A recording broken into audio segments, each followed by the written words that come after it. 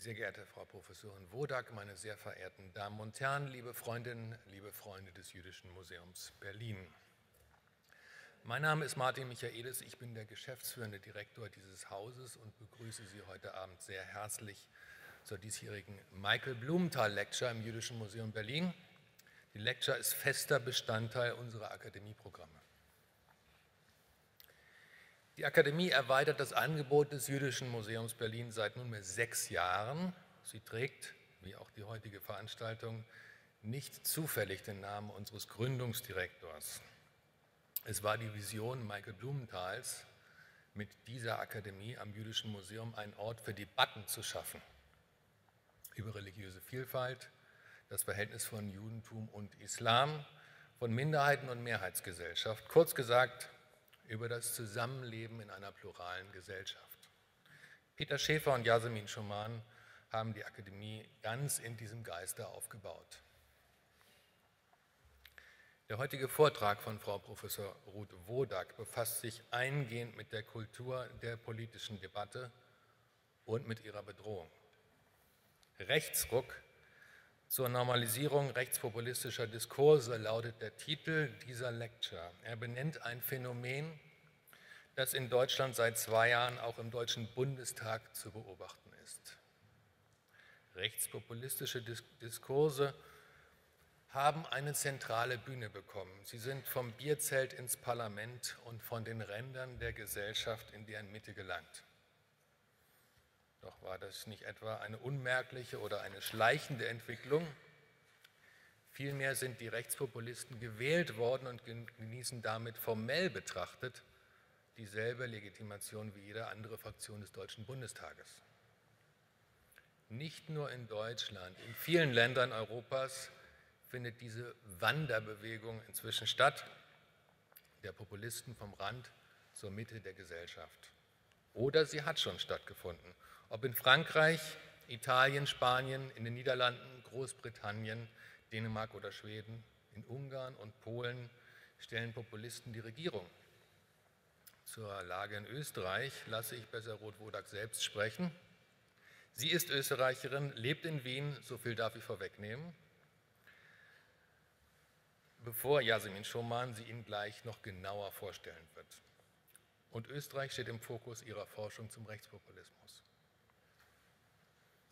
Der Wandel der politischen Ordnung hat in Europa also bereits stattgefunden. Ein Gradmesser dieses Wandels, das zeigt die Sprachwissenschaftlerin Ruth Wodak in ihren Analysen, ist der Diskurs. Ein Diskurs, der die Grenzen des Sagbaren immer weiter verschiebt. Dies gilt besonders für den Diskurs über Minderheiten und Migranten, die von Rechtspopulisten, egal in welchem Land, als Bedrohung einer europäischen Identität angesehen werden.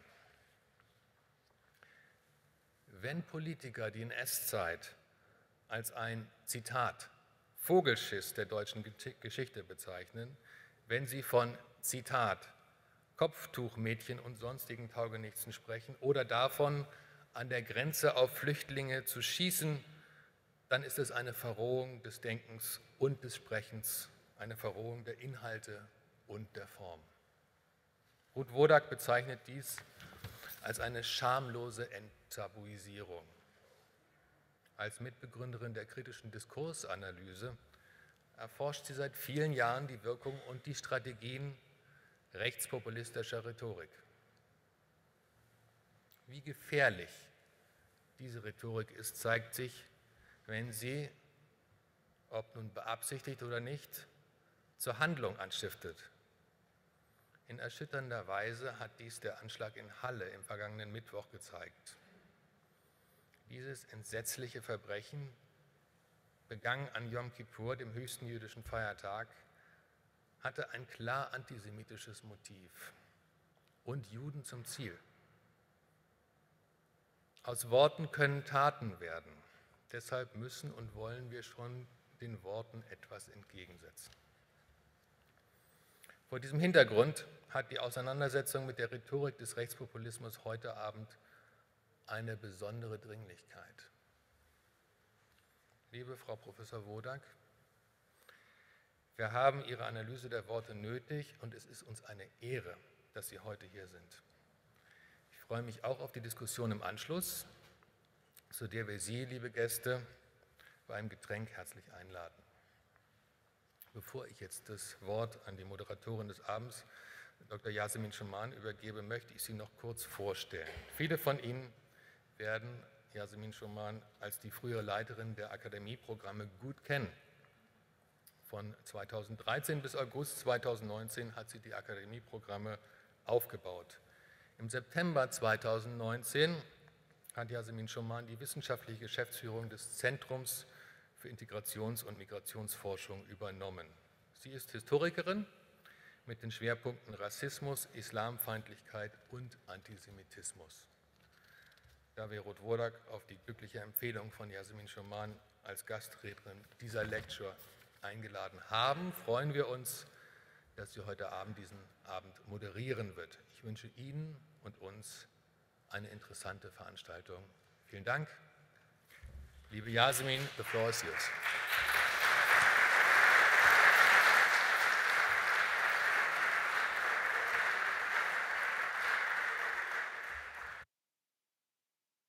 Martin. Liebe Frau Professor Wodak, meine sehr verehrten Damen und Herren, auch ich begrüße Sie recht herzlich zur diesjährigen WMB-Lecture. Es ist mir eine große Freude, für diesen Anlass an meine alte Wirkungsstätte zurückzukehren. Und ich freue mich außerordentlich, dass es uns gelungen ist, mit Ruth Wodak eine so renommierte Wissenschaftlerin für den heutigen Abend zu gewinnen. Als Mitbegründerin der kritischen Diskursanalyse hat sie ein theoretisches Konzept bereitgestellt, mit dem nicht nur Sprachwissenschaftlerinnen und Wissenschaftler, sondern auch Sozial- und Kulturwissenschaftler seit Jahren der Frage nach dem Zusammenhang von Diskurs, Politik und Identität nachgehen. Sie erforschen dabei kollektives Wissen und die Grenzen dessen, was zu einem jeweiligen historischen Zeitpunkt als sagbar gilt. Eine leitende Grundannahme ist hierbei, dass Sprache die Wirklichkeit nicht einfach nur abbildet, sondern diese konstituiert. Denn nach Michel Foucault sind Diskurse Praktiken, die systematisch die Gegenstände bilden, von denen sie sprechen. Diskursanalysen interessieren sich daher nicht nur für die Inhalte der Diskurse, sondern auch für die sozialen Bedingungen, unter denen sie entstehen und für die Wirkungen, die sie entfalten. Die kritische Diskursanalyse nimmt dabei unter anderem in den Blick, wie, wie über Diskurse Menschen in bestimmte Kategorien eingeteilt werden, wie und mit welchen positiven oder negativen Eigenschaften diese Gruppen versehen werden und wie diese Zuschreibung für die Legitimierung von In- und Exklusion und von Diskriminierung herangezogen wird. Dieser Zusammenhang wird uns auch heute Abend beschäftigen und es ist mir eine Ehre, Ihnen nun die Rednerin, äh, die Rednerin des, der diesjährigen WMB-Lecture etwas näher vorzustellen. Ruth Wodak ist eine in London geborene österreichische Sprachwissenschaftlerin, die seit 1991 an der Universität Wien und später von 2004 bis 2014 an der Lancaster University in Großbritannien eine Professur zur Diskursforschung innehatte. Gastprofessuren führten sie unter anderem an die Stanford University, die Georgetown University in Washington, D.C. und die Universität von Malmö. Zu ihren Forschungsschwerpunkten gehören die Populismusforschung, das Feld der Identitäts- und Vergangenheitspolitik, die Migrationsforschung sowie die linguistische Vorurteilsforschung zu Rassismus und Antisemitismus. So hat sie sich unter anderem ausgiebig mit der Analyse politischer Rhetorik beschäftigt, darunter der Analyse von Wahlkampfrhetoriken rechtspopulistischer Parteien und der Frage, was diese so erfolgreich macht, trotz oder vielleicht gerade wegen der rassistischen und antisemitischen Argumentationsfiguren, derer sie sich bedienen. Ihre Forschungsergebnisse mündeten in zahlreichen Buchpublikationen, von denen ich hier exemplarisch einige herausgreifen möchte. 1990 veröffentlichte sie gemeinsam mit Kolleginnen aus verschiedenen Disziplinen eine Studie zum Alltagsantisemitismus mit dem Titel Wir sind alle unschuldige Täter, Diskurs historische Studien zum Nachkriegsantisemitismus. 2001 legte sie mit ihrem Kollegen Martin Reisigel das Grundlagenwerk Discourse and Discrimination, Rhetorics of Racism and Antisemitism vor. Und 2016 erschien die Monographie Politik mit der Angst zur Wirkung rechtspopulistischer Diskurse, das 2017 als Wissenschaftsbuch des Jahres in der Sparte Sozialwissenschaften ausgezeichnet wurde. Zahlreiche ihrer Publikationen wurden in diverse Sprachen übersetzt, darunter ins Englische, Französische, Italienische, Polnische, Spanische, Portugiesische, Hebräische, Russische, Koreanische, Japanische, Arabische und ins Chinesische. Sie sehen, man kann also ohne Mühe von einem beeindruckend internationalen Rezipientenkreis sprechen, der Traum einer jeden Wissenschaftlerin. Für ihre Arbeit ist Ruth Wodak vielfach ausgezeichnet worden, unter anderem mit dem Wittgenstein-Preis, dem höchst dotierten Preis der Republik Österreich für WissenschaftlerInnen und dem großen silbernen Ehrenkreuz für Verdienste um die Republik Österreich sowie mit dem Lebenswerkpreis des österreichischen Frauenministeriums.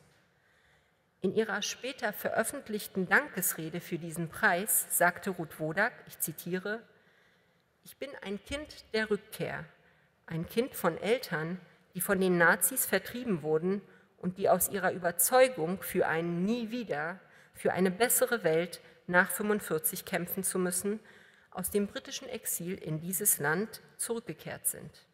Mit dem Eintreten für Gerechtigkeit und die Menschenrechte bin ich aufgewachsen. Vielleicht erklärt dieses Zitat, warum Sie sich, liebe Frau Professor Wodak, einer kritischen Diskursanalyse verschrieben haben, die nicht bei der Beschreibung von Verhältnissen stehen bleibt, sondern zu ihrer Transformation zum Besseren hin beitragen möchte. In diesem Sinne freuen wir uns jetzt sehr auf Ihren Vortrag, der die Normalisierung rechtspopulistischer Diskurse in Europa kritisch reflektieren wird. Ich wünsche uns allen einen anregenden Abend.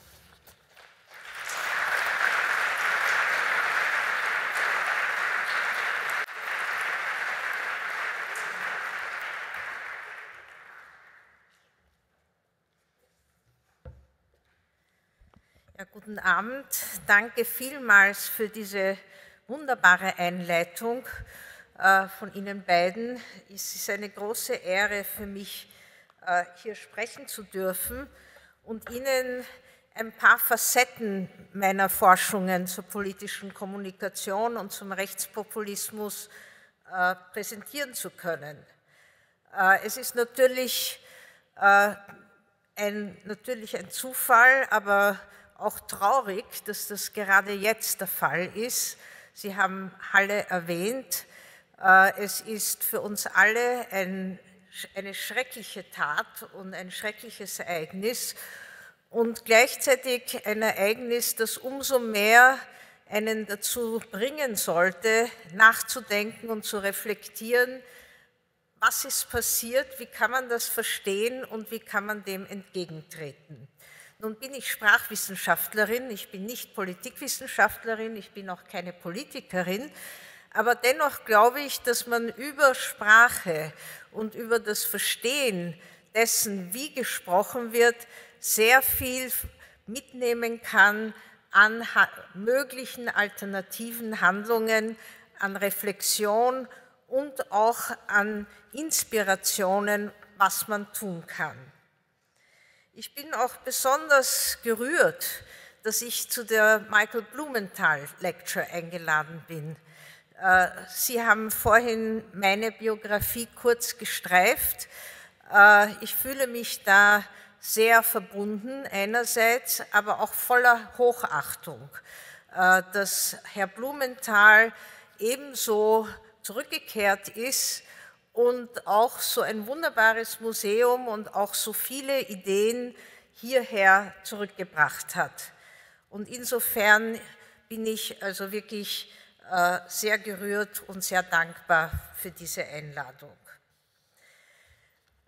Ich möchte zunächst beginnen, indem ich Ihnen kurz sage, worüber ich heute sprechen möchte das sind natürlich nur Puzzlesteine. Ich kann also in diesen 45 Minuten unmöglich dieses komplexe Phänomen des Rechtspopulismus, Rechtsextremismus, äh, es gibt viele Begriffe für dieses Phänomen abdecken. und Ihnen allen wird sicher irgendwas fehlen. Das ist immer so. Wir können das in der Diskussion gerne nachholen. Äh, ich kann wirklich nur einen Streifzug äh, machen mit einem kleinen Katzensprung in die USA. Das kann man jetzt bei Trump äh, nicht auslassen.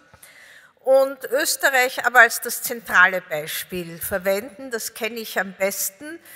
Aber man muss auch dazu sagen, der Haiderismus oder die Haiderization von Europa ist eben auch aus Österreich ausgegangen.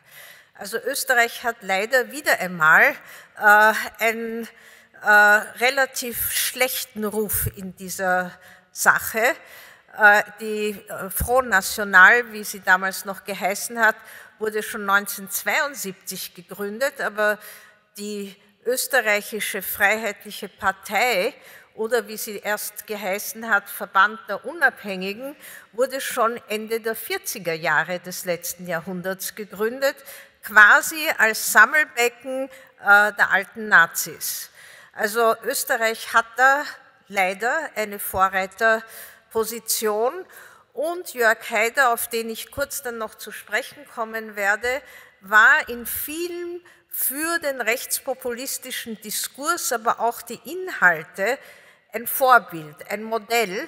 Äh, deshalb sprechen wir auch wissenschaftlich von der Haiderisierung Europas oder der Haiderization, also wie diese Art der Inhalte und Rhetorik letztlich dann über Österreich hinaus viel Bedeutung bekommen hat.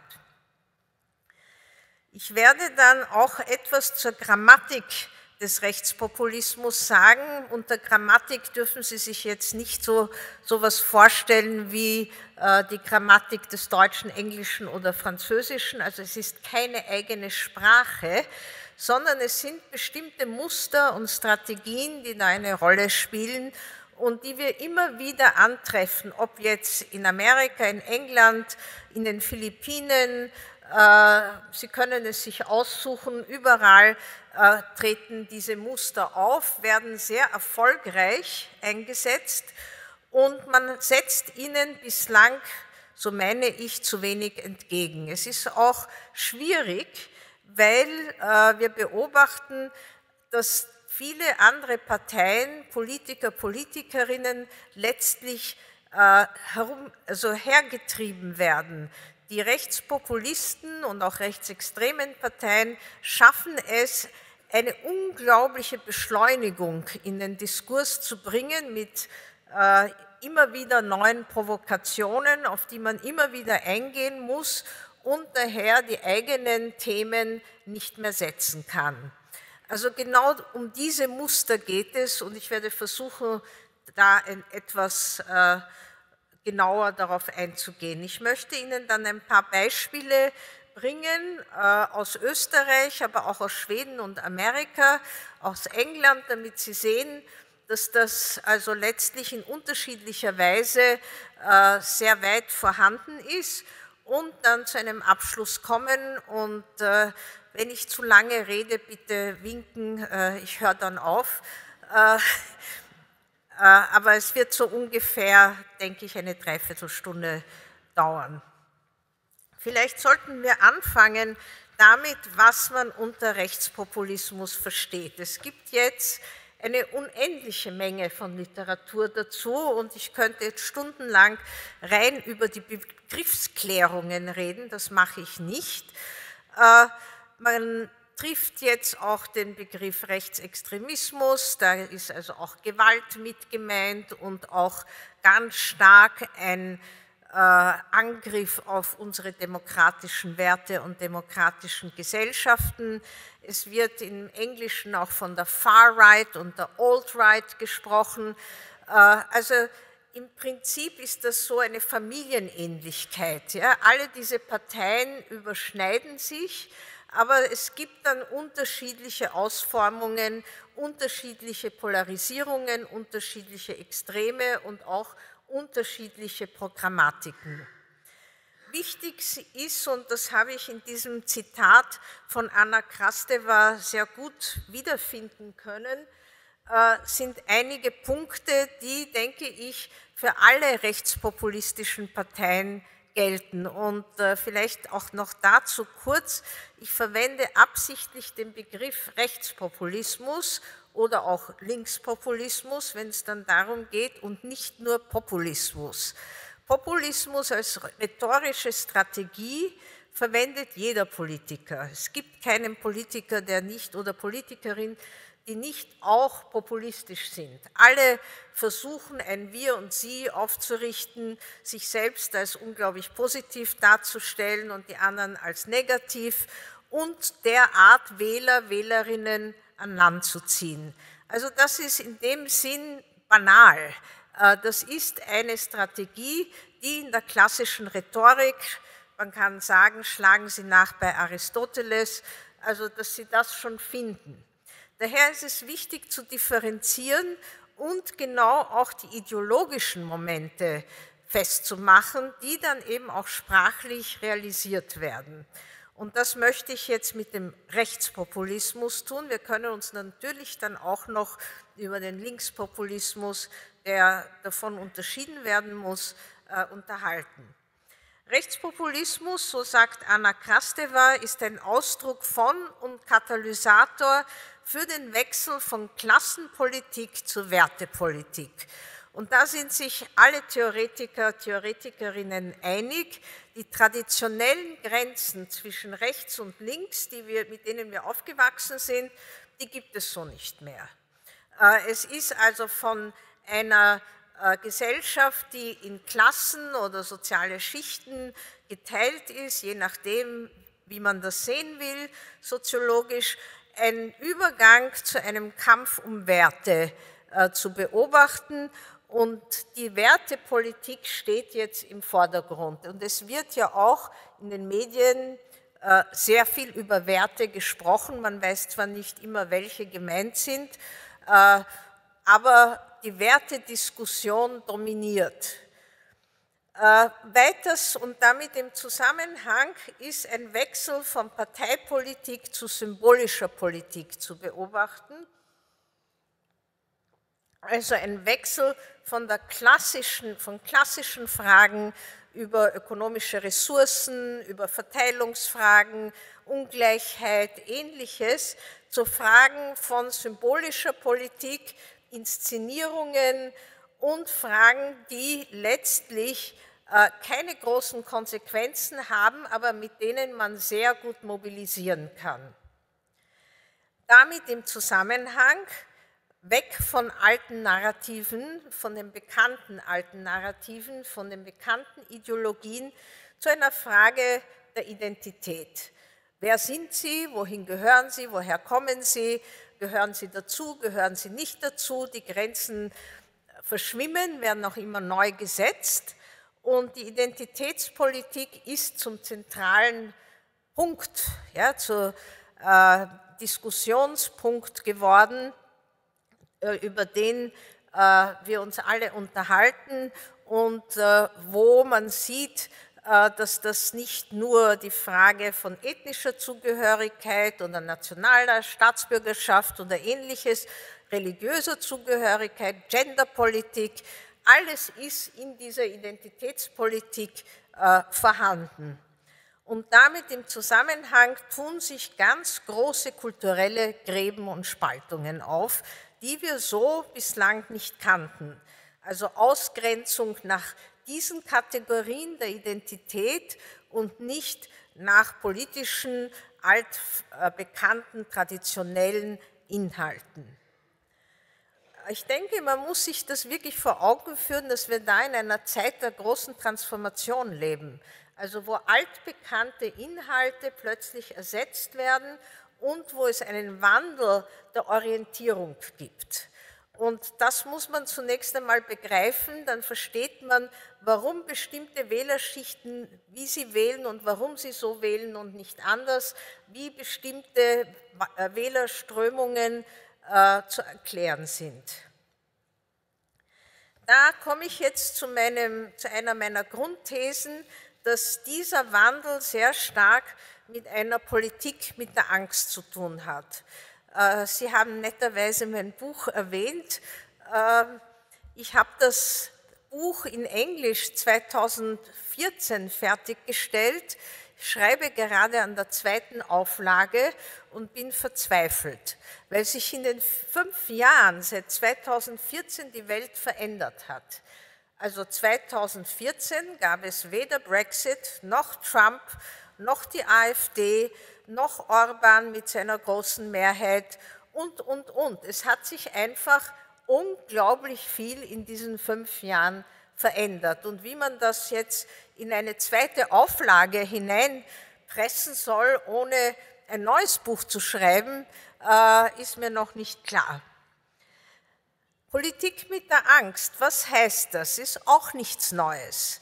Politiker, Politikerinnen haben immer mit Angst äh, gehandelt, immer mit Angst rhetorisch versucht, Leute für sich zu gewinnen.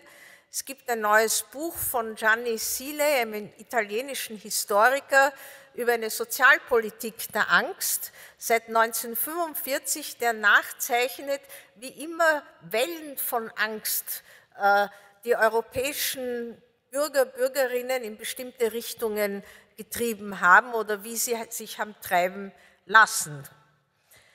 Äh, und letztlich wissen wir das natürlich auch, dass die Sündenböcke, die im Zuge einer solchen Politik der Angst immer wieder konstruiert werden, auch ein altes Muster sind, äh, das äh, gut bekannt ist und leider noch immer sehr gut funktioniert. Das heißt, solche Parteien instrumentalisieren bestimmte Minderheiten als Sündenböcke, ganz unterschiedlich je nach nationalem Kontext. Einmal sind es Migranten, Migrantinnen, Flüchtlinge, Juden, Roma, äh, andere ethnische Minderheiten und die werden als eine Bedrohung für uns, für unser Land, jetzt unter Anführungszeichen, gesetzt und damit wird Angst entweder erzeugt oder verstärkt. Äh, und wenn man im zweiten Schritt dann verspricht, das Problem zu lösen, äh, dann kann man sich als Retter, Retterin profilieren, indem man also bestimmte Strategien äh, vorstellt, wie man nun mit diesen Sündenböcken, mit diesem Problem umgeht. Auch das ist ein altbekanntes Muster. Man muss natürlich jetzt nicht immer auf den Nationalsozialismus oder Faschismus zurückgreifen und von Vernichtung sprechen, aber durchaus ähnliche Euphemismen finden wir. Wir finden Anlandezentren irgendwo in Libyen, äh, wir finden äh, Aufrufe zu Deportationen und ähnliches, selbst heute im 21. Jahrhundert. Diese Politiker, Politikerinnen äh, meinen weiters, dass sie die Stimme des Volkes äh, repräsentieren. Und nun ist es wichtig, sich zu fragen, wer ist dieses Volk? Wer gehört zu diesem Volk? Damit sind wir schon bei der Frage der Identitäten angelangt.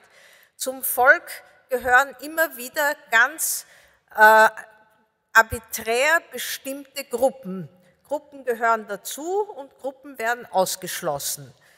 Äh, wenn Sie Ungarn anschauen, äh, Orban hat also dekretiert, dass jeder Ungar oder jede Ungarin auch im Ausland letztlich mit anderer Staatsbürgerschaft Ungar ist, einfach von Geburt, quasi äh, jus sanguinis, also über Generationen, man könnte unter Anführungszeichen sagen, es geht eigentlich leider um einen Ahnenpass. Äh, andererseits äh, gibt es auch durchaus Parteien, die sich als echte Bürger dieses Volkes nennen. Denken Sie an die echten Finnen, die True Finns. Äh, da ist schon der Name dieser Partei Programm. Es gehören eben nur echte Finnen dazu. Und insofern kann also dieses Volk immer wieder neu definiert werden. Dazu kommt ein gewisser Anti-Intellektualismus und auch Anti-Elitismus. Das heißt, man spricht vor allem authentische, sogenannte authentische Gefühle an, äh, eine Politik der Gefühle. Äh, das heißt, es geht vor allem darum, von der Angst zur Hoffnung überzugehen. Und dass Angst und Hoffnung sehr nahe beieinander liegen, hat schon Spinoza sehr eindeutig und elaboriert dargestellt. Angst, von Angst kommt man sehr leicht durch ein Versprechen, dass die Angst verschwinden wird, zu einer Hoffnung und zu Versprechen. Und wenn man weiß, dass diese Angst verschwindet, ist man durchaus bereit, für Sicherheit auch viele Freiheiten aufzugeben. Und in diesem Balanceakt befinden wir uns, dass Menschenrechte eingegrenzt werden aufgrund von Sicherheit äh, einerseits und dass dadurch versprochen wird, dass äh, man nicht mehr bedroht sein wird, aber man verzichtet auf bestimmte Freiheiten. Also das ist sozusagen, äh, das sind die Widersprüche, in denen äh, wir uns alle letztlich momentan bewegen. Wichtig ist auch, dass diese Parteien aufgrund ihres antielitären Programms sich als authentisch geben. Und das sehen Sie am besten, wenn Sie sich Donald Trump jetzt vor Augen führen, äh, der natürlich als äh, gelernter äh, langjähriger Entertainer genau weiß, wie man Menschen gut unterhält und auch mobilisiert. Und er spricht ihre Sprache. Äh, viele Menschen in England, die ich interviewt habe, haben mir immer wieder gesagt, ich bin für Nigel Farage, das ist der Chef der UKIP gewesen, der United Kingdom Independence Party, jetzt Chef von, Brexit, von der Brexit Party, immer wieder gesagt, ja, den will ich jetzt, weil der ist so wie ich. Der sitzt im Pub, der trinkt sein Bier, der raucht, obwohl es dort verboten ist und außerdem verstehe ich ihn und der versteht mich. Also die sprechen auf gleicher Ebene und nicht zu jemandem hinab. Und das ist immer wieder in meinen Interviews, die ich in England, Amerika, Österreich geführt habe, als entscheidendes Kriterium genannt worden. Letztlich also meine ich, dass wir eine Normalisierung dieses Musters erleben. Und äh, man kann sich ja auch nicht ununterbrochen empören. Ja? Also wir sind, leben ja in einer Empörungskultur. Alle sind ununterbrochen schrecklich empört über noch einen Tabubruch und noch eine Provokation.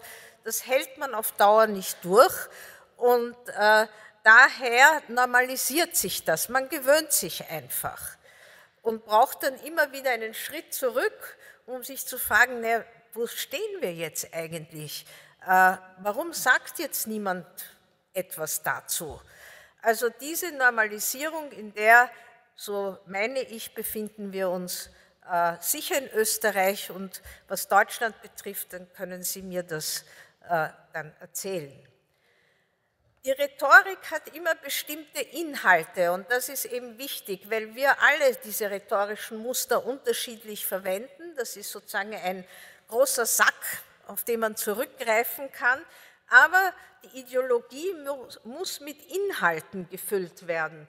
Und da gibt es vier Dimensionen, die mir wichtig sind. Das eine ist eben das Völkische, dieses, diese Fantasie, dass es ein homogenes Volk gibt, diese echten Österreicher beispielsweise.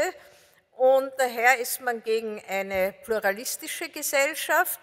Die zweite Dimension betrifft äh, den Anti-Elitismus, äh, man ist also gegen das Establishment, wobei Establishment ganz unterschiedlich definiert sein kann. Das können Journalisten, Intellektuelle, Unileute, Manager, Reiche, also unterschiedliche Gruppen, je nach, je nach Bedarf, äh, werden so definiert. Die dritte Dimension betrifft Law and Order, also den strengen Vater, wie das George Lakoff äh, definiert, also eine ganz klare Dominanz von Sicherheit und Polizei und äh, äh, Gesetz, um, und andererseits äh, eine oft Einschränkung äh, von bestimmten Bürger- und Freiheitsrechten. Und die vierte Dimension sind konservative Werte, die erleben wir momentan alle in der Genderpolitik ganz stark, äh, aber man erlebt sie auch auf anderen Ebenen, also dass es jetzt plötzlich einen Backlash gibt in, auf vielen Ebenen, äh, die äh, sehr unerwartet waren in manchen, aber auch dazu gehört, was wir Wohlfahrtschauvinismus nennen. Das heißt, dass die bestimmten sozialen Maßnahmen, die wir also in, den, äh, in unseren Staaten gewöhnt sind, also Sie in Deutschland, ich in Österreich, Krankenkasse, Pensionen und so weiter, freies Hochschulstudium, freie Schulen und, und so weiter, nur für die Österreicher gelten sollen und nicht für andere. Also man soll diese Benefits, diese Maßnahmen schützen und man hat Angst, dass sie sonst verloren gehen. Und damit komme ich zu einem wichtigen Punkt, nämlich, dass äh, eine, eine Annahme sich als falsch erwiesen hat, nämlich dass die Finanzkrise die Ursache sei für das Ansteigen des Rechtspopulismus. In manchen Ländern sicher. Und in manchen Ländern ist es zu einer ganz starken Polarisierung gekommen, etwa Griechenland. Aber in anderen Ländern geht es auch um die Angst vor Verlust. Und das sehen Sie in sehr reichen Ländern, das sehen Sie in Norwegen, in Österreich, in Dänemark und in der Schweiz. Also in Ländern, die also die Finanzkrise relativ unbeschadet überstanden haben äh, und trotzdem ganz starke rechtspopulistische Parteien haben. Gerade die Schweiz beispielsweise oder auch Norwegen. Äh, und da hat das nicht jetzt äh, mit einer Verstärkung der Arbeitslosigkeit und Perspektivenlosigkeit der Jugend zu tun, sondern mit Angst vor Verlust. Und deshalb sind also manche dieser Generalerklärungen falsch. Ja, sie greifen nicht auf die nationalen Eigenheiten wirklich richtig hin. Dazu gehört jetzt auch noch zum Konservativismus ein historischer Revisionismus. Den erleben wir gerade sehr stark in Ungarn oder auch in Polen, äh, dass plötzlich wieder Horthy-Denkmäler auftauchen können, äh, also ein Rückgriff auf, auf den Faschismus in Ungarn und Sie kennen auch die Debatten sicherlich in Polen, was die Shoah betrifft und die mögliche oder nicht mögliche Kollaboration, was man sagen darf und was man nicht sagen darf. Also da werden neue Geschichten geschrieben oder Geschichte wird umgeschrieben. Das passiert immer wieder, äh, aber da ist das jetzt relativ systematisch. Diese äh,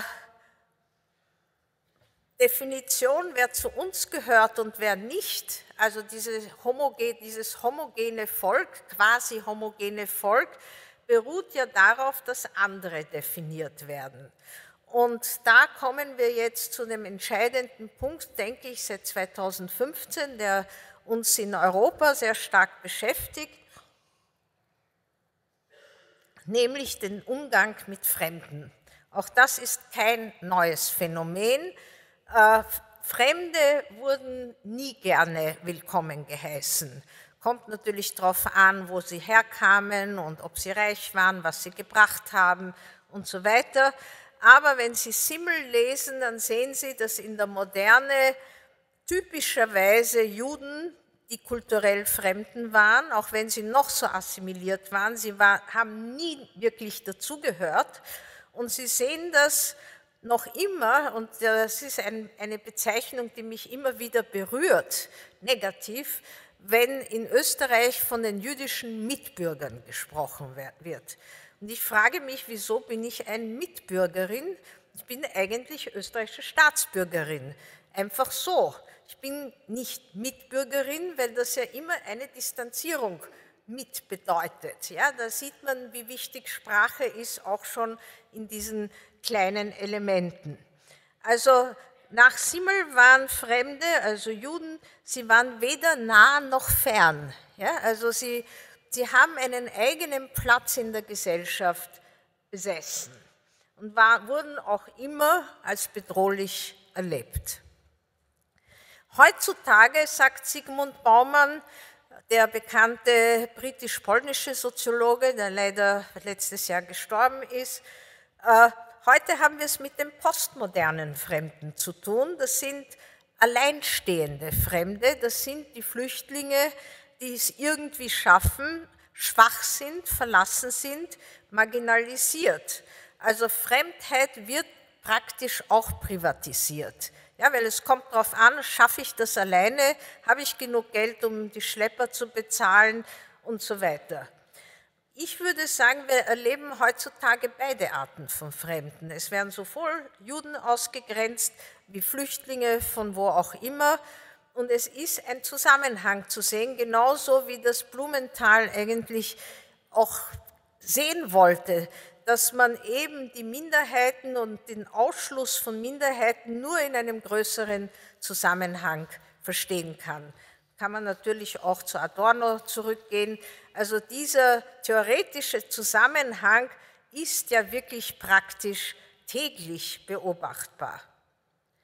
Nur ein Beispiel, das ist jetzt Englisch, aber ich denke, diese großen Schlagzeilen werden Sie auch verstehen. Äh, diese Schlagzeilen kommen aus dem britischen Boulevard. Es gibt kaum, also ich kenne kein Land, wo es so viele Boulevardzeitungen gibt, gemessen an der Bevölkerungszahl. Ich meine, Österreich ist, kann das auch ganz gut, aber äh, und Deutschland hat auch die Bildzeitung und andere. Aber in England haben sie praktisch täglich, können sie das sehen. Und ich will das jetzt gar nicht im Einzelnen übersetzen, aber was Sie sehen, sind alle Vorurteile, mit denen wir ständig zu tun haben. Also 500.000 Migrantinnen bekommen Social Housing, das sind also Sozialbau oder in Wien würde man sagen Gemeindebauwohnungen äh, und eben nicht wir. Ja, die bekommen das, nicht wir. Ist natürlich überhaupt nicht nachgewiesen, es gibt da auch keine Daten und Beweise oder Quellen dazu, aber dadurch wird natürlich Neid und Ressentiment sofort äh, hervorgerufen. Oder die wollen nicht Englisch lernen. Ja, also das gibt es natürlich auch in Österreich ständig, dass die Migranten, Migrantinnen nicht Deutsch lernen wollen. Oder sie sind vor allem Mörder und auch Vergewaltiger und man wird sie nicht los. Also alle diese Themen kann man täglich in dieser Massivität sehen. Dass das eine Auswirkung hat, ist ja außer Frage. Ja, dass, wenn Sie das täglich wiederholt sehen, das eine Wirkung haben muss äh, und dass das sich irgendwie auch in unseren Diskurs festsetzen muss, dass es da eine Resonanz geben muss. Was sind nun die Ursachen dieser erhöhten Angst momentan? Und äh, wahrscheinlich, wenn es jetzt einen neuen Eurobarometer gäbe, wäre Klimakrise möglicherweise an erster Stelle, bin ich aber gar nicht so sicher. Äh, wenn man sich anschaut, Studien von der Bertelsmann Stiftung 2016 oder Eurobarometer 2018, so ist die Globalisierung ganz so abstrakt genommen, ja, die Ursache für Angst. Und Sie sehen bei den Prozentzahlen da in der ersten Zeile, dass große Teile der AfD, der Front National, der österreichischen Freiheitlichen Partei, der Lega in Italien, äh, Fidesz in Ungarn, PiS in Polen und so weiter, alle vor Globalisierung Angst haben. Nun, was ist Globalisierung? Äh, das ist ja mal nur ein Schlagwort und ein Abstraktum. Und wenn man da nachfragt, und das haben alle diese Meinungsforscher und Forscherinnen gemacht, so ist die Antwort Migration. Also Globalisierung wird praktisch reduziert auf Migration. Könnte ja vieles anderes sein. Ja? Es könnte Ungleichheit sein, es könnte Arbeitslosigkeit sein, Armut, Krieg, Terror. Also man könnte sich ja viele andere Themen da vorstellen. Nein, es ist Migration. Und zwar völlig isoliert gesehen, ja, also auch nicht im Zusammenhang mit der Klimakrise oder im Zusammenhang mit Krieg, sondern einfach, da kommen Menschen. Ja, und egal woher sie kommen und warum sie kommen, werden sie dann als illegale Migranten bezeichnet, obwohl das ja ganz unterschiedliche Menschen sind, die kommen. In England habe ich das auch oft erlebt, dass auch die EU-Migranten als illegale Migranten bezeichnet werden und nicht nur Migranten aus Drittstaaten. Und der Begriff illegal ist ja wissenschaftlich überhaupt falsch. Wir reden von irregulären Migranten und das sind solche, die keine Dokumente haben, ja, die Sans-Papier. Der Begriff illegale Migranten finden Sie im globalen Migrationspakt nicht. Den finden Sie nicht in der Wissenschaft, weil er eine gesamte Gruppe kriminalisiert durch dieses negative Adjektiv. Das heißt, Globalisierung ist gleich Migration, ist gleich Fremde. Ja, und das ist die einfache Story, die unsere Diskurse letztlich dominiert. Und man muss jetzt dieser Story was entgegensetzen und es ist gar nicht einfach, auch eine einfache positive Story zu finden, die man dem entgegensetzen kann.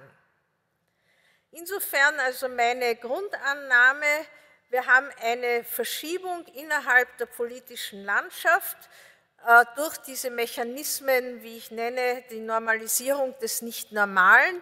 Es beruht teilweise auf, eine, auf einer Theorie von Jürgen Link, einem deutschen Kulturwissenschaftler, Literaturwissenschaftler, und da geht es nicht nur um einzelne Worte, sondern um ganze Komplexe, um Argumente, um ganze semantische Felder, die sich verschieben. Beispiel eben, alle Fremden sind illegal. Ja, da verschiebt sich eine gesamte Wahrnehmung. Äh, das haben wir alle sowohl in Deutschland und Österreich erlebt, wie die Willkommenskultur sich plötzlich um 180 Grad gedreht hat. Das war wirklich ein Frameshift, ja, also ein, ein, ein wirklicher, äh, eine wirkliche Veränderung der Wahrnehmung, ein Gestaltswitch. Insofern äh, verändern sich die Grenzen des Sagbaren und was mir da wichtig ist, noch äh, dazuzufügen, das wäre gar nicht so leicht möglich, wenn die Mainstream-Parteien das nicht unterstützten. Und das sehen Sie auch wieder ganz stark in den USA wenn die Republikaner nicht Trump bei allem und jedem, was er macht und sagt, unterstützten, könnte er das nicht machen. Also das heißt, diese Art der Tabubrüche funktioniert nur dadurch, dass es eine Art Unterstützung, fast manchmal eine Symbiose mit einigen der Mainstream-Parteien gibt, weil es sonst einfach nicht ginge. Und man wird ja sehen, was sich jetzt mit dem Impeachment-Verfahren tut. Aber solange das gestützt wird, auch wenn viele dagegen sind, aber es nicht sagen, kann es immer weitergehen. Kurz jetzt zu dieser Grammatik, die ich schon angekündigt habe. Ich werde jetzt nicht auf alle diese einzelnen diskursiven Strategien eingehen, aber ich möchte doch was zu dieser Opfer-Täter-Umkehr sagen, der, der, wir immer wieder gerade in der Flüchtlingsbewegung begegnet sind, nämlich einer Invasion von Fremden, als ob die als Heer, als Soldaten äh, jetzt die Grenze äh, überschreiten und wir ohnmächtig sozusagen uns nicht wehren könnten. Da wird also ein Bild völlig umgedreht. Äh, oder die Juden sind an ihrem Schicksal selbst schuld. Also dieses antisemitische Stereotyp kennen wir. Äh, auch da ist natürlich eine völlige Umkehr von Opfer und Täter zu finden. Äh, weiters ist mir wichtig, auf die Verschwörungstheorien hinzuweisen, die immer stärker um sich greifen und ich komme dann noch darauf zurück. Also besonders jetzt oft im Zusammenhang mit George Soros, das sozusagen der neue Rothschild, ja, also die Weltverschwörung, dass da mächtige jüdische Lobbys äh, alle Staatschefs wie die Marionetten an der Hand äh, führen. Äh, dieses Bild ist wiedergekehrt, ist auch ganz stark, wird instrumentalisiert und in vielerlei Weise verwendet.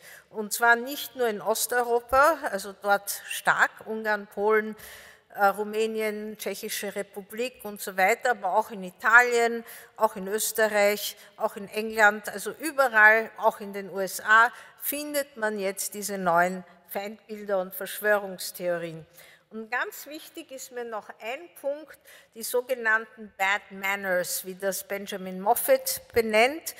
Äh, das heißt, es ist jetzt schick, äh, unhöflich zu sein. Also man darf jetzt endlich alles sagen, was man nie sagen durfte.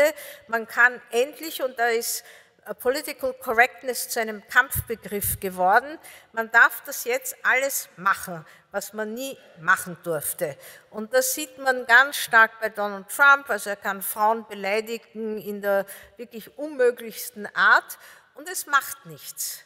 Ja, und ganz im Gegenteil, es scheint Leute oder Menschen zu stärken. Ja, die fühlen sich gestärkt dadurch, dass jemand endlich das, denen da oben das zeigt, ja, dass das geht.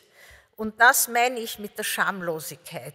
Also es hat plötzlich, äh, kann man Dinge machen und sagen, man muss sich nicht entschuldigen, es, man kann äh, Menschen beleidigen und es macht nichts.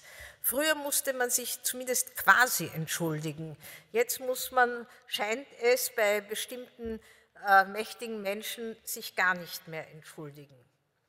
Und davon leite ich jetzt, was ich bin gleich mit diesem theoretischen Teil fertig, leite ich ab, was ich nenne die einfache Formel des Populismus, nämlich diese dichotome Welt. Ja? Äh, und diese Welterklärung ist eben sehr einfach. Wir müssen uns gegen die wehren. Wir, wir sind anständig, ehrlich, gut, fleißig, edel, mutig, unbestechlich, Opfer, Aufrichtige und so weiter. Und die anderen sind Lügner, Täter und so weiter. Und insofern ist der Kampf legitim und Politik wird als Kampf definiert. Also nicht nur im Wahlkampf, also da kämpfen praktisch alle, sondern insgesamt, es ist ein steter Kampf. Und man muss sich wehren gegen andere, und zwar andere von oben, von unten und von außen. Also man ist von allen Seiten bedroht. Oben sind die Eliten, die sind korrupt etc., faul, böse, äh, gewissenlos. Die von außen kommen, die sind gefährlich und die unten, die sind faul. Ja? Sind die also sogenannten Sozialschmarotzer und so weiter. Ja? Also jetzt hat man auf allen Seiten eine Bedrohung. Insofern muss sich jetzt der aufrichtige, echte Österreicher oder Finne oder Ungar gegen diese Bedrohungen wehren. Und das, dieses Weltbild greift, ja, weil es tatsächlich eine sehr komplexe Welt sehr einfach erklärt. Ich gebe Ihnen ein erstes Beispiel, an das Sie sich vielleicht erinnern. Ich habe das auf Deutsch übersetzt. Äh, die, ein Teil der Inaugurationsrede von Trump, wo sie die Dichotomisierung, die Spaltung von uns, dem amerikanischen Volk, und Washington, die Eliten, sehen. Und diese Spaltung von Regierung und dem Volk erleben wir beispielsweise gerade in England. Also Boris Johnson macht das gerade diskursiv. Wir haben das auch in der österreichischen Nationalratswahl erlebt. Und wir erleben es ständig äh, bei Trump, das Gegeneinander ausspielen von Washington, den Eliten und uns, dem Volk. Und wir übergeben die Macht von Washington zurück an das amerikanische Volk. Das heißt, Washington gehört nicht zum amerikanischen Volk. Oder wie soll man das jetzt implizit verstehen? Es ist eine kleine Gruppe, die hat also unsere Nation äh, sozusagen ausgebeutet. Sie hat die Früchte geerntet, während das Volk die Kosten getragen hat. Und da haben Sie ganz einfach wieder eine Story, wir, das Volk, wir sind die Opfer, da sind diese Bösen da oben, die haben uns ausgebeutet, aber ich rette euch jetzt. Ja? Ich gebe euch die Macht zurück. Und diese Story äh, hat, wie Sie wissen, in Amerika sehr gut gegriffen. Äh, und äh, sie haben eben auch am Ende dieser 20. Jänner wird in Erinnerung bleiben als der Tag, an dem das Volk wieder der Herrscher dieser Nation wurde. Nebenbei, Sie erinnern sich vielleicht, anschließend war die große Debatte, ob bei seiner Inauguration mehr Leute waren als bei Obamas Inauguration. Wir wissen, dass das nicht der Fall äh, war. Aber damals kam zum ersten Mal der Begriff Alternative Facts auf. Und seither haben wir mit Alternative Facts, mit äh, sozusagen neuen Wahrheiten oder anderen Wahrheiten zu tun, äh, die gleich im Zuge dieser Dichotomisierung äh, aufgetreten sind, nämlich eine Diskriminierung, Diffamierung der Presse. Ja, also das heißt, die Presse wird zu dieser Elite gezählt und äh, Trump hat sich dann eben sogleich gegen die Presse gewandt. Ein weiteres Beispiel dieser Authentizität, ja, dass man eben authentisch ist und diese Sprache spricht, möchte ich Ihnen da auch zeigen. Das ist jetzt ein Beispiel aus Österreich. Das ist Jörg Haider. Sie werden sich vielleicht noch an dieses Gesicht erinnern. Äh, der 1999, als er damals die Wahl gewonnen hat, mit zum ersten Mal 27,6 Prozent gekriegt. Ähm, war teilweise, weil er solche Plakate gehabt hat wie Wer, wenn nicht er, äh, einer, der unsere Sprache spricht. Interessanterweise haben jetzt die beiden letzten Regierungsparteien beide wieder diesen Slogan aufgenommen und jetzt sehen Sie, was ich mit Normalisierung meine. Nämlich, dass die konservative Partei ihre sozusagen CDU, unsere ÖVP plötzlich den Haiderschen Slogan übernimmt und Herr Kurz jetzt auch einer ist, der unsere Sprache spricht, aber gleichzeitig auch äh, der Clubchef und frühere Innenminister der Freiheitlichen Partei Österreichs, nämlich Herr Kickel. Beide haben diesen Slogan verwendet. Also kann man sich fragen, welche Sprache spricht man nun oder was ist unsere Sprache? Äh, ich möchte weitergehen jetzt zur symbolischen Politik und Ihnen da jetzt noch zeigen, wie weitere Feindbilder entstehen und wie diese Normalisierungen fortschreiten. Mein erstes Beispiel ist das Feindbild Kopftuch. Äh, das kann man wiederum nur im österreichischen Kontext wirklich verstehen. Im Jahr 2018 gab es 20 Kampagnen der ÖVP-FPÖ-Regierung gegen Muslime, österreichische Muslime, also Staatsbürger in aller möglichen Art. Und hier wurde eine Maßnahme der Regierung durch die FPÖ begründet dadurch, dass man ein muslimisches Mädchen zeigt, äh, das sozusagen ungerechterweise Geld bekäme. Die österreichische Regierung hat damals beschlossen, für Kinder von Leuten, die in Österreich arbeiten, und zwar aus dem EU-Ausland, äh, das Geld zu kürzen, die Kinderbeihilfe zu kürzen, falls die Kinder nicht in Österreich leben, sondern in der Slowakei oder in Polen oder Rumänien oder in Schweden oder sonst wo. Äh, weil der Lebensstandard dort anders ist. Geht gegen das EU-Recht, wird sicher noch verändert. Aber wie wurde das begründet? Mit, wie sich dann herausgestellt hat, einem Mädchen aus Uganda, mit einem Kopftuch, das wahrlich nicht das typische Mädchen aus Polen ist oder aus der Slowakei. Und dieses Symbol sollte begründen, warum die Regierung dieses Geld für Kinder kürzt. Man hat also, das ist eben typisch für diese symbolische Politik, ein Feindbild herangezogen, um eine sehr kontroversielle Maßnahme zu begründen. Äh, es gab eine sehr große Debatte über dieses Plakat. Äh, der damalige Vizekanzler musste sich auch entschuldigen dafür. Aber letztlich, wenn einmal ein Diskurs, wenn etwas gesprochen oder geschrieben oder gezeigt wurde, ist es vorhanden. Ja, man kann einen Diskurs nicht zurückdrehen, man kann ihn nicht verschwinden machen, man kann ihn verbieten, aber er ist vorhanden. Und insofern war das Plakat da. Es gab noch mehrere von der ähnlichen Sorte. Dazu gehörte eine große Verwendung von Euphemismen in diesem Jahr 2018. Und auch das waren Vorschläge des damaligen Innenministers Kickels. Ich habe Ihnen sein Bild vorher gezeigt, von der FPÖ. Äh, und die wurden tatsächlich in dieser Koalitionsregierung diskutiert. Äh, immer zu einer Zeit, als sehr unangenehme Maßnahmen beschlossen wurden, beispielsweise eine Zwölf-Stunden-Arbeitstag, also Maßnahmen, die genau die Wählerschaft der FPÖ sicher nicht gefreut haben. Und als Ablenkung wurden immer wieder dann symbolische Politik gemacht. Beispielsweise wurden, Ausreise, wurden Erstaufnahmezentren in Ausreisezentrum umbenannt. Großes Schild.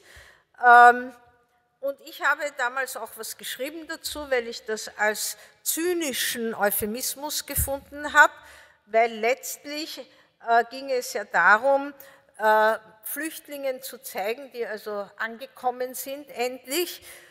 Ihr seid hier nicht willkommen, ihr könnt es gleich wieder ausreißen. Äh, man könnte auch sagen, dass euphemistisch letztlich Begriffe wie Sammellager äh, latent vorhanden waren, wenn man das genau ableitet, was wir auch linguistisch gemacht haben.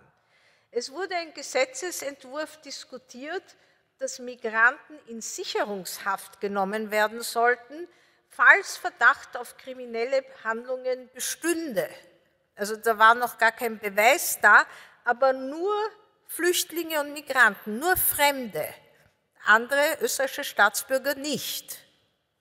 Auch das hält natürlich keine äh, europäische Gesetzeswerdung aus, aber auch da gibt es Assoziationen zu Begriffen wie Schutzhaft. Und diese Euphemismen sind tatsächlich im Diskurs plötzlich diskutiert worden. Alle Politiker haben plötzlich über Sicherungshaft gesprochen. Die Medien haben über Sicherungshaft gesprochen, als ob das tatsächlich ein gangbarer Weg gewesen wäre. Und ebenso wurde plötzlich über Arbeitspflicht geredet, im Sinne von äh, Flüchtlinge, die dürfen in Österreich nicht arbeiten, solange sie kein Asyl äh, bekommen haben, könnten äh, die freiwillige Arbeit, die sie oft machen, weil was sollen sie den ganzen Tag schon tun, als Arbeitspflicht benannt werden und mit 1,50 Euro die Stunde bezahlt werden. Auch das war durchaus Programm beider Parteien. Und da muss man dann eben sich fragen, eine Partei wie die ÖVP oder CDU oder die Tories, also eine Mainstream, die Republikaner in Amerika, rückt plötzlich so weit nach rechts, dass sich das Programm wirklich überlappt mit der FPÖ. Und es gab nur ganz selten eine Grenzziehung. Ja? Also äh, das meine ich mit dieser Normalisierung, ja, mit diesem Rechtsruck, der eben durch solche Euphemismen ganz stark äh, perpetuiert wird oder auch verstärkt wird. Das zweite Feindbild, und es tut mir leid, dass ich Sie damit irgendwie jetzt belästige fast, das ist ja alles nicht sehr lustig, was ich Ihnen da erzähle. Aber das zweite Feindbild, mit dem wir jetzt zu tun haben, ich habe schon auf äh, Rothschild und jetzt Soros hingewiesen, Soros das Feindbild von Orban. Also ich weiß nicht, wer von Ihnen letztes Jahr in Budapest war oder in Ungarn gereist ist. Plakatwände über Plakatwände mit Soros und Juncker, Soros alleine, als der Feind des ungarischen Volkes, als derjenige, der die Flüchtlinge überhaupt nach Europa gebracht hat und Fox News in Amerika hat ja auch behauptet, dass Soros die Mexikaner nach den USA gebracht hätte. Und Sie sehen, dass da wirklich zu rechtsextremen Karikaturen ein starker Zusammenhang besteht. Ja? Ben Garrison ist ein bekannter amerikanischer rechter Karikaturist und Sie sehen diese Bilder wieder ganz mit allen Stereotypen, die wir aus dem traditionellen Antisemitismus kennen, also Juden sind reich, sie sind mächtig, die Weltverschwörung, der bringt mit dem Schiff die Flüchtlinge in die USA hinein und ganz ähnlich haben wir das dann auch in der EU auf den Plakaten der Regierungspartei Fidesz. Also Soros ist wirklich zu sozusagen dem Symbol des Bösen äh, geworden. Das dritte Feindbild, mit dem wir momentan zu tun haben, und das macht jetzt wieder eine neue Story aus, eine sehr einfache, ist Schweden. Ich weiß nicht, ob Sie sich erinnern an das berühmte Zitat von Trump, We've got to keep our country safe. Look at what's happening last night in Sweden. Also das hat er während einer Wahlkampagne oder so einer großen Rede gesagt. Schauen Sie einmal, was letzte Nacht äh, in Schweden passiert ist. Nun, was ist in Schweden letzte Nacht passiert? Nichts. Ja?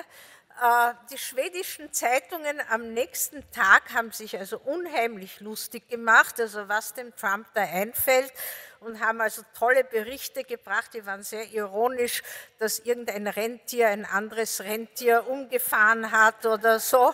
Also es war ganz köstlich, was, wie da mit Ironie, und das ist übrigens wichtig, und Witz gekontert wurde und nicht in diese Dynamik eingestiegen wurde aber es hatte Folgen.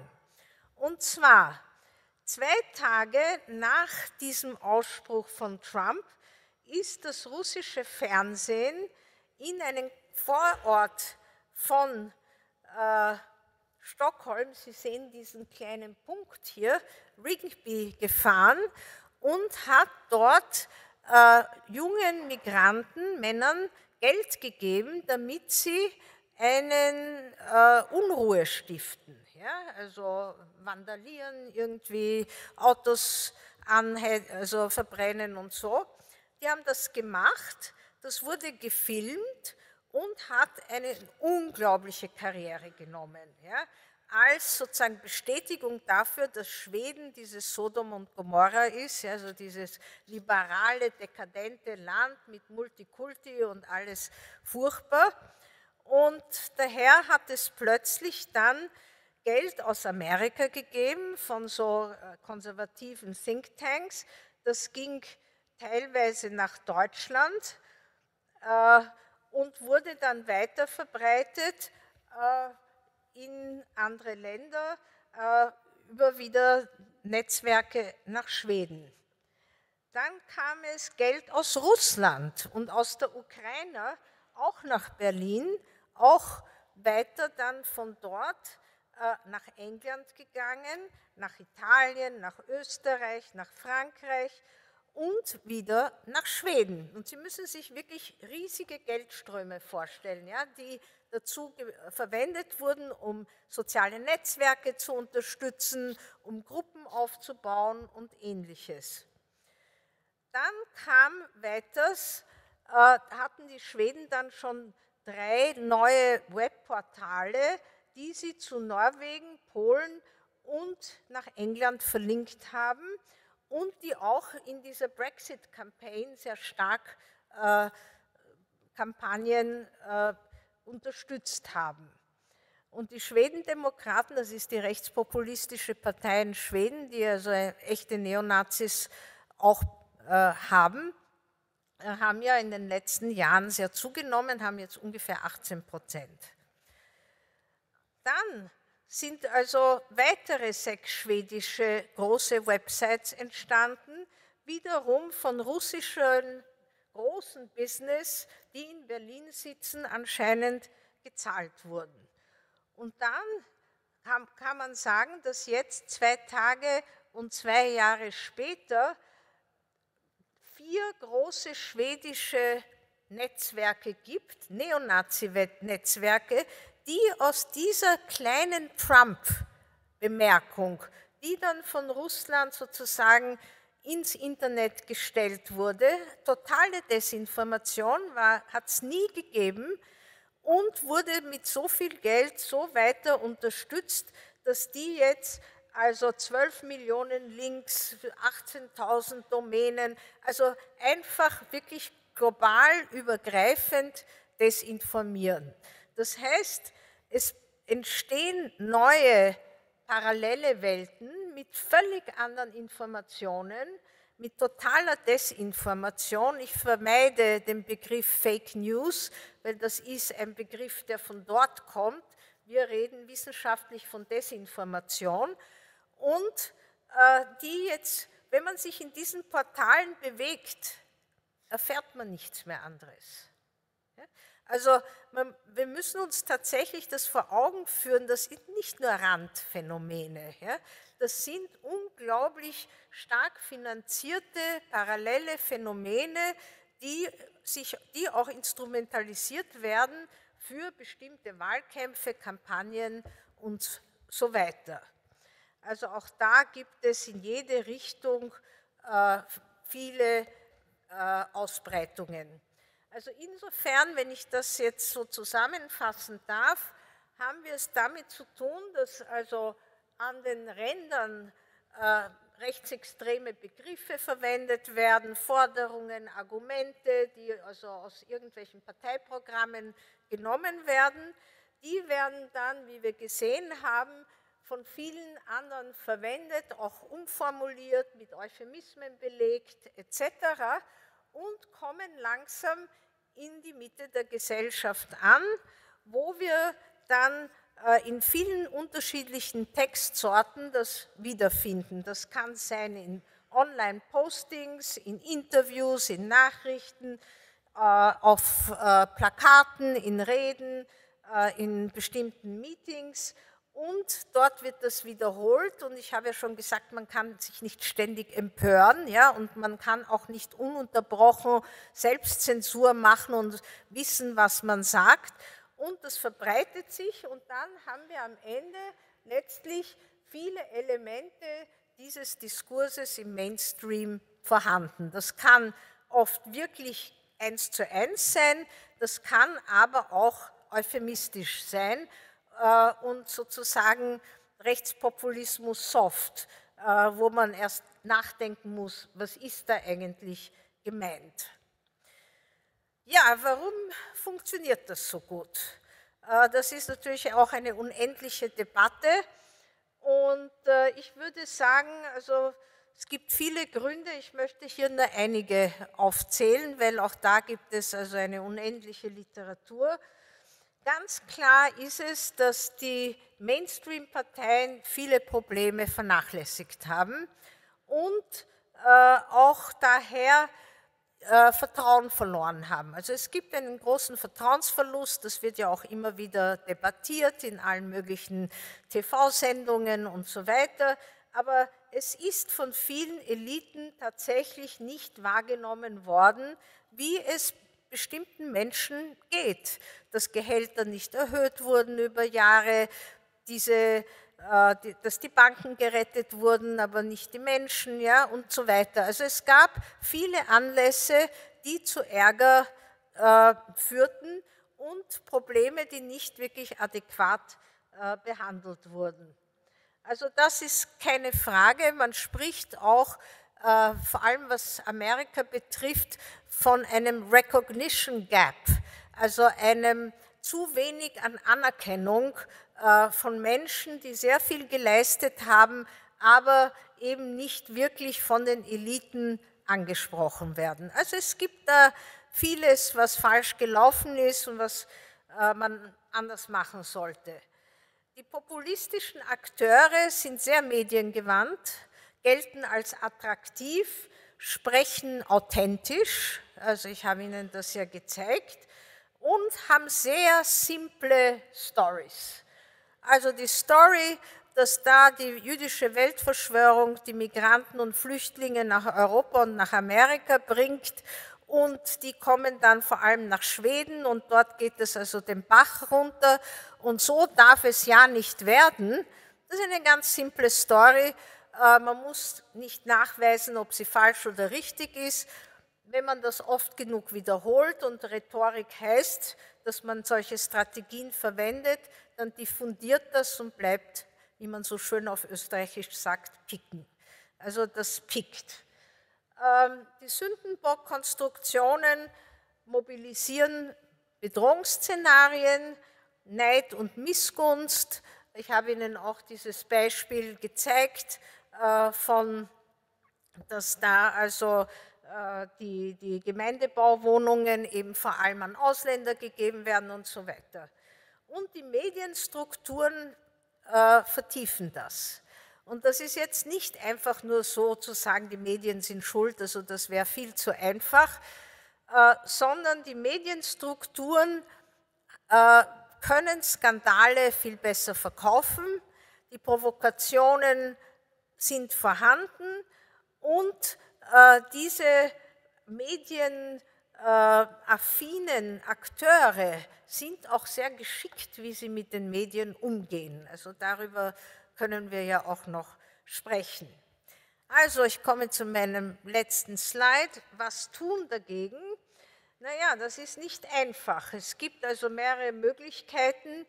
Äh, das Rezept hat noch niemand gefunden. Rechts überholen äh, hat noch nie was gebracht, weil die Leute sowieso, wie man auch wieder bei uns sagt, den Schmied und nicht den Schmiedel wählen. Ähm, Cordon sanitaire wird sehr stark in Frankreich äh, gemacht, dass man keine Koalition mit denen eingeht, aber man muss es dann vielleicht lokal und ob das dann wieder die Ausgrenzung und die Opferstories verstärkt, ist auch nicht klar.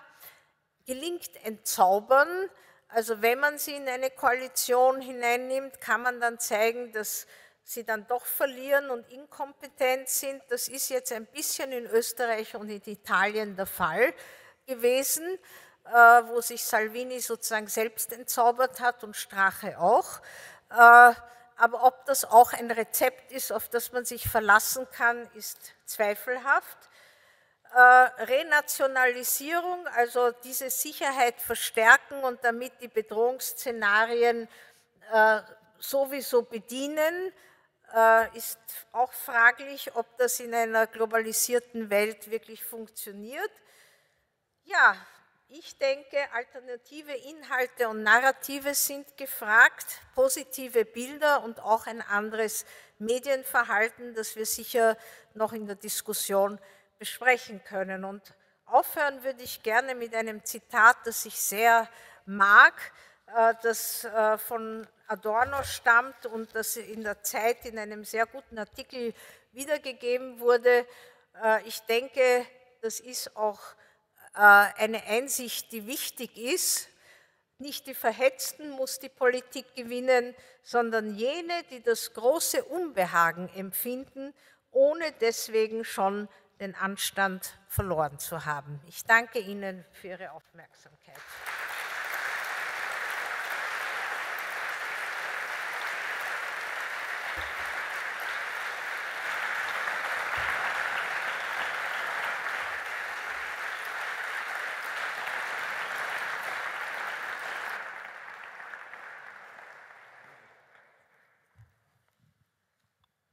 Ja, liebe Frau Professor Wodak, haben Sie vielen Dank für diesen sehr, sehr reichhaltigen Vortrag. Sie haben uns viel Diskussionsstoff gegeben und ähm, es läuft jetzt so ab, dass wir jetzt erstmal ein bisschen unter uns sprechen und wir dann im zweiten Schritt das Gespräch auch für Sie öffnen werden. Ähm, Sie haben in Ihrem Vortrag ja gerade gezeigt, äh, welche, ja, welche zentrale Rolle äh, Emotionen und das Schüren von Ängsten in der Diskursstrategie der Rechtspopulisten spielen. Ähm, wenn so viele Emotionen im Spiel, ich weiß nicht, wenn so viele Emotionen im Spiel sind, ähm, bringt es eigentlich überhaupt noch etwas sachlich an, dagegen anargumentieren zu wollen, auf Empirie zu verweisen, wenn das dann doch in einem nächsten Schritt nur als Fake News abgetan wird? Also ein bisschen ratlos hinterlassen Sie uns jetzt schon. Ja, das ist eine, eine wichtige Frage. Also vielleicht ein paar Sachen dazu, wobei ich auch, wie gesagt, das Rezept nicht besitze. Äh, sonst hätte ich schon Bestseller geschrieben. Also, ähm, ich glaube, erstens muss man mal sagen, jede Äußerung ist so immer so emotional und rational. Ja? Also ich halte das nicht für richtig, dass man sozusagen so trennt zwischen Gefühle und Kognition. Ja? Ich glaube, es gibt mehr Gefühl oder weniger Gefühl und mehr Kognition, mehr rational, aber wir sind immer auch gefühlsmäßig unterwegs. Ja? Und ich denke, es kann eigentlich nur dann gelingen, wenn man eben versucht, andere Gefühle anzusprechen. Also es ist sicherlich so, dass man rein rational dem nicht entgegenkommen kann oder das nicht durchbrechen kann. Man kann natürlich, und das soll man auch, äh, Faktenwissen oder evidenzbasiertes Wissen hinlegen. Äh, und das muss dann, ist, ist wichtig, dass man das als Ressource besitzt, aber es ist sicherlich zu wenig. Das heißt, eher wäre die Frage, jemand zu stellen, ja, warum sind Sie so böse? Ja, oder was, was macht jetzt diese Aggression aus? Äh, und das ein bisschen nachzufragen, weil dann aus diesen Erklärungen sehr schnell sich zeigt, dass ganz andere Probleme vorhanden sind. Also es ist oft eine Oberfläche, die letztlich mit anderen Dingen zu tun hat. Andererseits können wir alle nicht als Therapeuten ständig unterwegs sein. Also so diese Frage, was heißt das eigentlich, was Sie jetzt da machen? Und die, der Ausweg, der also gerade von Trump sehr oft genommen wird, nämlich dann zu sagen, ist eh alles Fake News, ähm, der ist schwierig zu entgegnen. Ja? Also wenn sich Menschen wirklich nur mehr in dieser Blase sozusagen bewegen, in diesen, wie ich das gezeigt habe, diesen unglaublich komplex aufgebauten Parallelwelten, dann äh, ist es sehr schwer, dort Eintritt zu bekommen. Also man muss versuchen, man muss es hinterfragen, aber ob man wirklich ankommt, ist nicht klar. Sie haben in Ihrem Vortrag am Schluss sind Sie auf die Medien eingegangen und auf die Frage sozusagen die mediale Bühne für Rechtspopulisten. Es ist ja immer so eine Frage, wie viel Bühne, wie viel Raum gibt man äh, solchen Positionen? Und Rechtspopulisten haben vielleicht den strategischen Vorteil, dass ihnen jede Form von Aufmerksamkeit äh, äh nützt, also auch die negative. Jetzt haben wir gerade schon ein bisschen darüber gesprochen, wie man wie man sozusagen mit denjenigen umgehen soll, die, ihre Stimme vielleicht solchen äh, Kräften geben. Aber wie stehen Sie zu dieser großen Frage, soll man auch mit Rechten reden? Also quasi wirklich mit denjenigen, die diese Ideologie ja, zum, zu sozusagen zu ihrem politischen Programm erhoben haben. Und wie soll man ihnen dann begegnen? Also auf den, in den Talkshows, in den Bühnen. Also ich denke, es sind zwei Fragen mindestens, die Sie jetzt gestellt haben.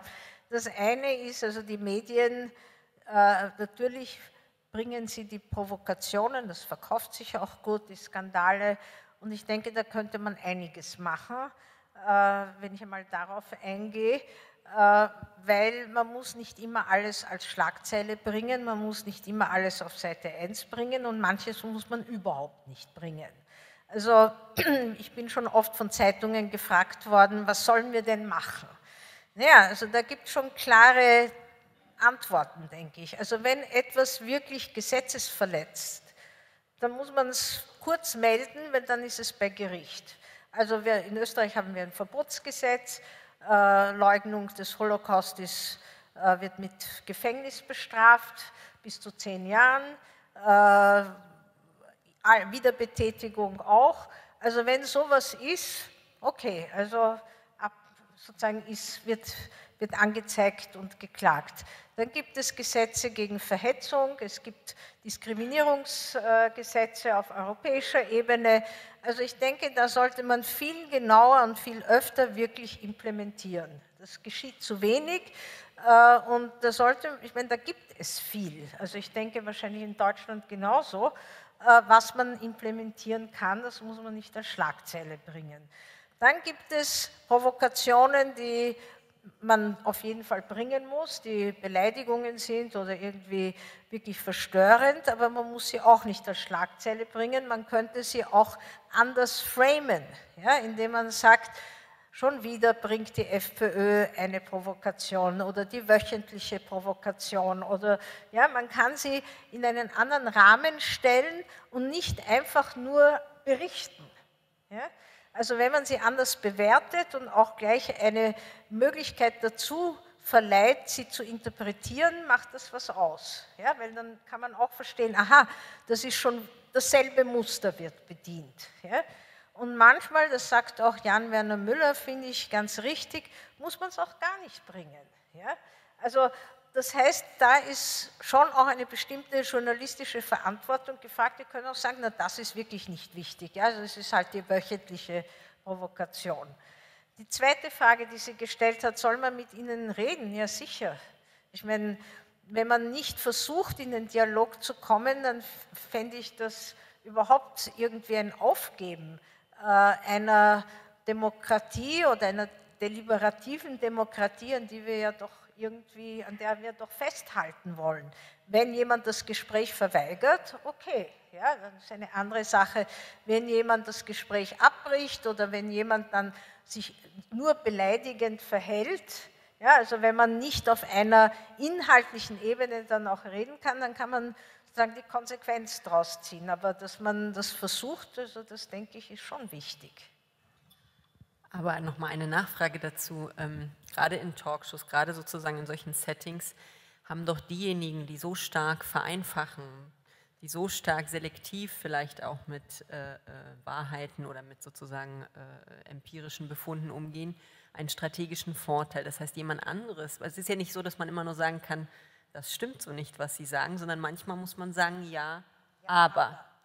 Und äh, für solche Differenzierungen, äh, das ist natürlich sozusagen eine, eine, schwerere Position.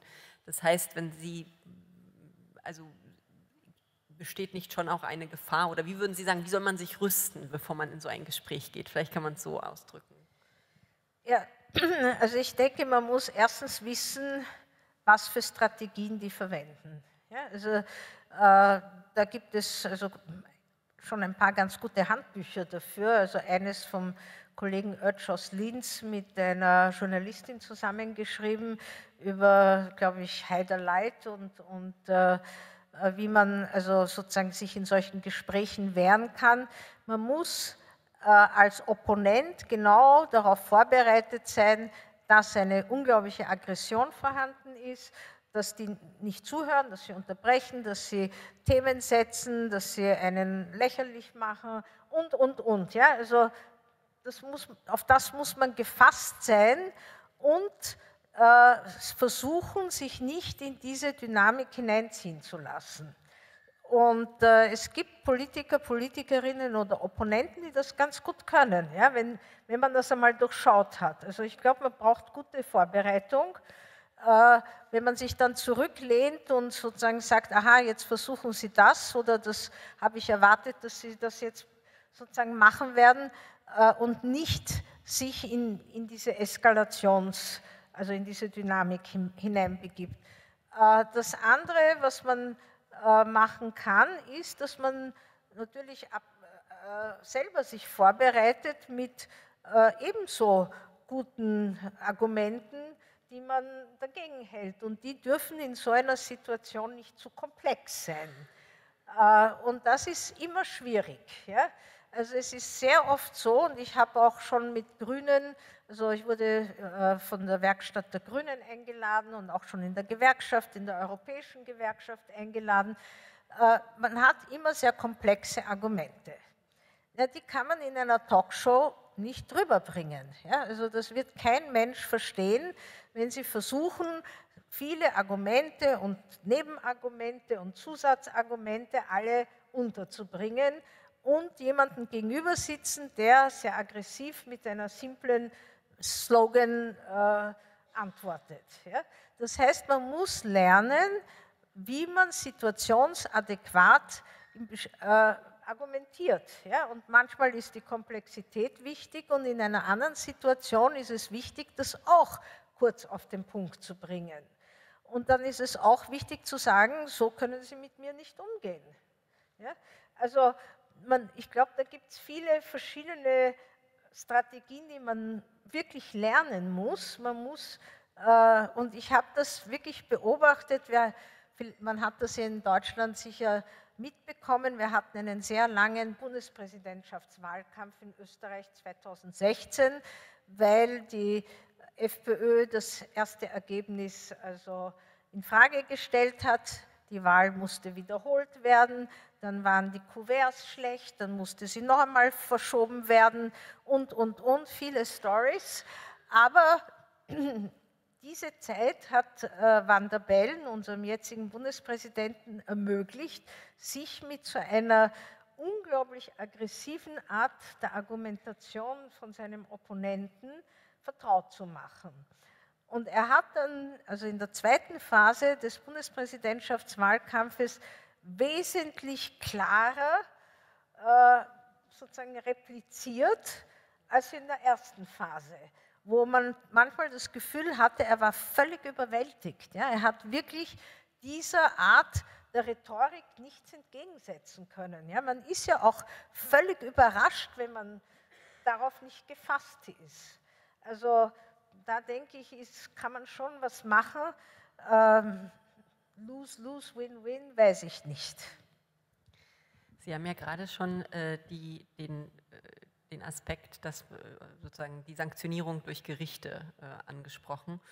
Ähm, vor kurzem äh, hat das Bundesverfassungsgericht hier in Deutschland einem Antrag der NPD gegen ein Bußgeld stattgegeben, das verhängt worden war wegen, ich zitiere aus der Pressemitteilung, grob herabsetzenden Kommentaren gegenüber Flüchtlingen auf der Facebook-Seite der Partei.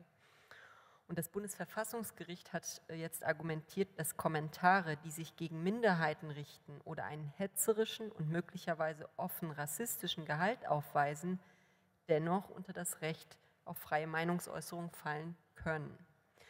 Nun ist die Meinungsfreiheit in, der, in einer Demokratie ein zentrales äh, Gut, das eine freie Gesellschaft auch erst ermöglicht. Ähm, und auf der anderen Seite kann Sprache eben auch gewaltvoll sein. Sie haben einige Beispiele dafür gebracht. Wie stufen Sie dieses Spannungsverhältnis ein und brauchen wir in einer Demokratie aus Ihrer Sicht Tabus? Oder ist das dann eher Wasser auf die Mühlen von jenen, die sagen, das ist linke Meinungsdiktatur? Sie stellen mir lauter schwierige Fragen. Ähm, das ist eine lange Diskussion, also die ich auch in England viel geführt habe und auch in den USA. Also Länder, die ja wirklich Meinungsfreiheit ist, also so zentral, viel mehr noch als in Deutschland und Österreich, weil hier ist ja auch so ein äh, Verbotsgesetz, gibt es ja in Deutschland auch und äh, in Österreich und Frankreich und ich glaube Holland und Polen gibt es auch. Also wo Meinungsfreiheit überhaupt das höchste Gut ist. Ja? Und trotzdem gibt es auch dort eine große Debatte. Also ist es zum Beispiel äh, möglich, und Sie erinnern sich an Charlottesville äh, vor zwei Jahren, wo also diese Alt-Right-Neonazis herumgebrüllt haben, äh, Jews will not replace us und ähnliche äh, grauenhafte Slogans, und wo viele Leute gesagt haben, es gibt eine Grenze, trotz dieser Meinungsfreiheit in den USA, die dadurch gegeben ist, dass eben Minderheiten und Gruppen äh, so verletzt werden und so ausgegrenzt werden. Und da muss man also eine Balance finden zwischen Menschenrechten äh, und der Meinungsfreiheit. Ja? Und da gibt es jetzt große Debatten mit äh, Juristen, die also das versuchen auszuloten ähnlich die große Sache damals in England mit äh, Deborah Lipstadt äh, und ähm, David Irving. Also die große, äh, das Buch auch dann danach, wo sie beweisen musste, dass es den Holocaust und die Shoah so gegeben hat, wie sie es gegeben hat und er geleugnet hat. Also für mich ist es jetzt ganz persönlich gesagt so, ich denke, es gibt Grenzen. Es gibt einerseits gesetzliche Grenzen, die habe ich eben genannt. Äh, wenn man beleidigt, verleumdet äh, und so weiter ist das ja auch klagbar. Äh, daher kann ich das so nicht ganz nachvollziehen, weil ja offenbar da wirklich äh, beleidigende und diffamierende Äußerungen daran beteiligt waren.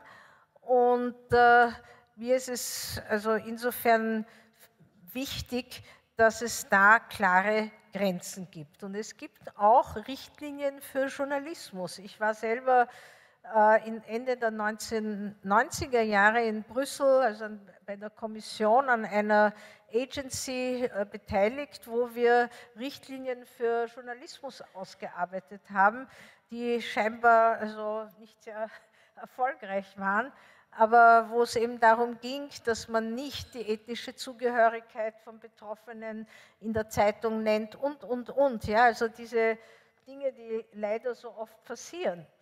Äh, und man muss klar machen, das hat nichts mit Sprachpolizei und Meinungsdiktatur und Ähnlichem zu tun. Das hat wirklich mit demokratischen Rechten und Schutz von Minderheiten zu tun. Äh, und ich meine, das wird immer in so eine falsche Richtung geschoben, äh, wenn es um solche ähm, Verbote oder Richtlinien geht.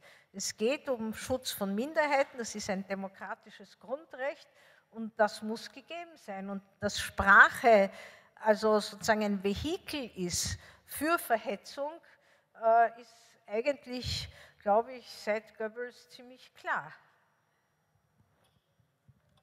Ich hätte jetzt noch ganz viele weitere Fragen, aber ich möchte mein Privileg als Moderatorin jetzt nicht überstrapazieren, sondern gerne das Gespräch für Sie öffnen. Wir haben Saalmikrofone ähm, und ich bitte um ein Handzeichen und wir werden immer so zwei, drei Wortmeldungen sammeln und dann wieder zurückgeben an Frau Professor Wodak. Ich sehe jetzt zwei. Gut, dann fangen wir an, der Herr in der, hier im, in Blau vorne und dann zwei Reihen weiter hinten und dann gucken wir nochmal weiter.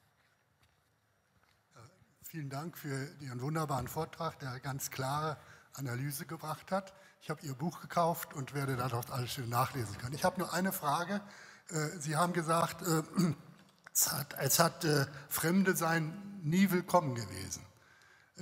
Dem möchte ich widersprechen. Also es ist allerdings das Beispiel oder die Beispiele, die ich bringe, liegen schon etwas weit zurück. Sie sind Österreicherin. Ich erinnere an die Salzburger Protestanten, die sehr willkommen waren. Und ich erinnere an die Hugenotten, die auch sehr willkommen waren in Preußen. Das zu vergleichen, warum die willkommen waren und heute bei vielen die Migranten nicht so willkommen sind, das ist eine interessante Fragestellung. Aber das kann ich jetzt nicht ausführen. Danke. Ja, oder könnten Sie dann genau zwei Reihen weiter hinten ist, ist eine Wortmeldung gewesen. Hier vorne bitte auf der Seite. Genau, geben Sie das Mikrofon einfach weiter.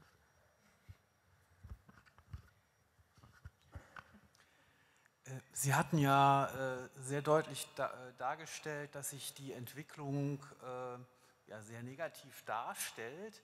Und jetzt bin ich also so optimistisch, dass ich denke, dass es doch eher eine Minderheit ist, eine sehr laute Minderheit, die sich halt sehr stark eben äußert, aber äh, und halt auch sehr schlimme Sachen macht, aber immer noch eine Minderheit. Heißt das denn nicht, dass die Mehrheit, wenn es denn so ist, einfach zu leise ist und sich viel mehr und aktiver äh, eben darstellen muss, um sozusagen mehr Geräusch zu machen und deutlicher zu werden?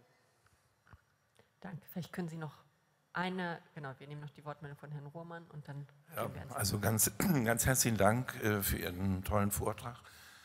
Ähm, ich, ähm, als Sie gesagt haben, dass Sie jetzt das Buch äh, noch mal in der nächsten Auflage schreiben, das ist ein echtes Dilemma und da habe ich jetzt auch gedacht, ähm, mir ist aufgefallen, dass Sie also das Wort 2014 ein richtiger, also Populismus nennen, aber ich kriege zunehmend Kollegen mit, die das Wort verabschieden. Also ich komme jetzt gerade von, vor zwei Wochen von einer großen Konferenz in Jena, wo Werner Heidmeier gesagt hat, er benutzt das Wort nicht mehr. Also er benutzt noch mal wieder was anderes.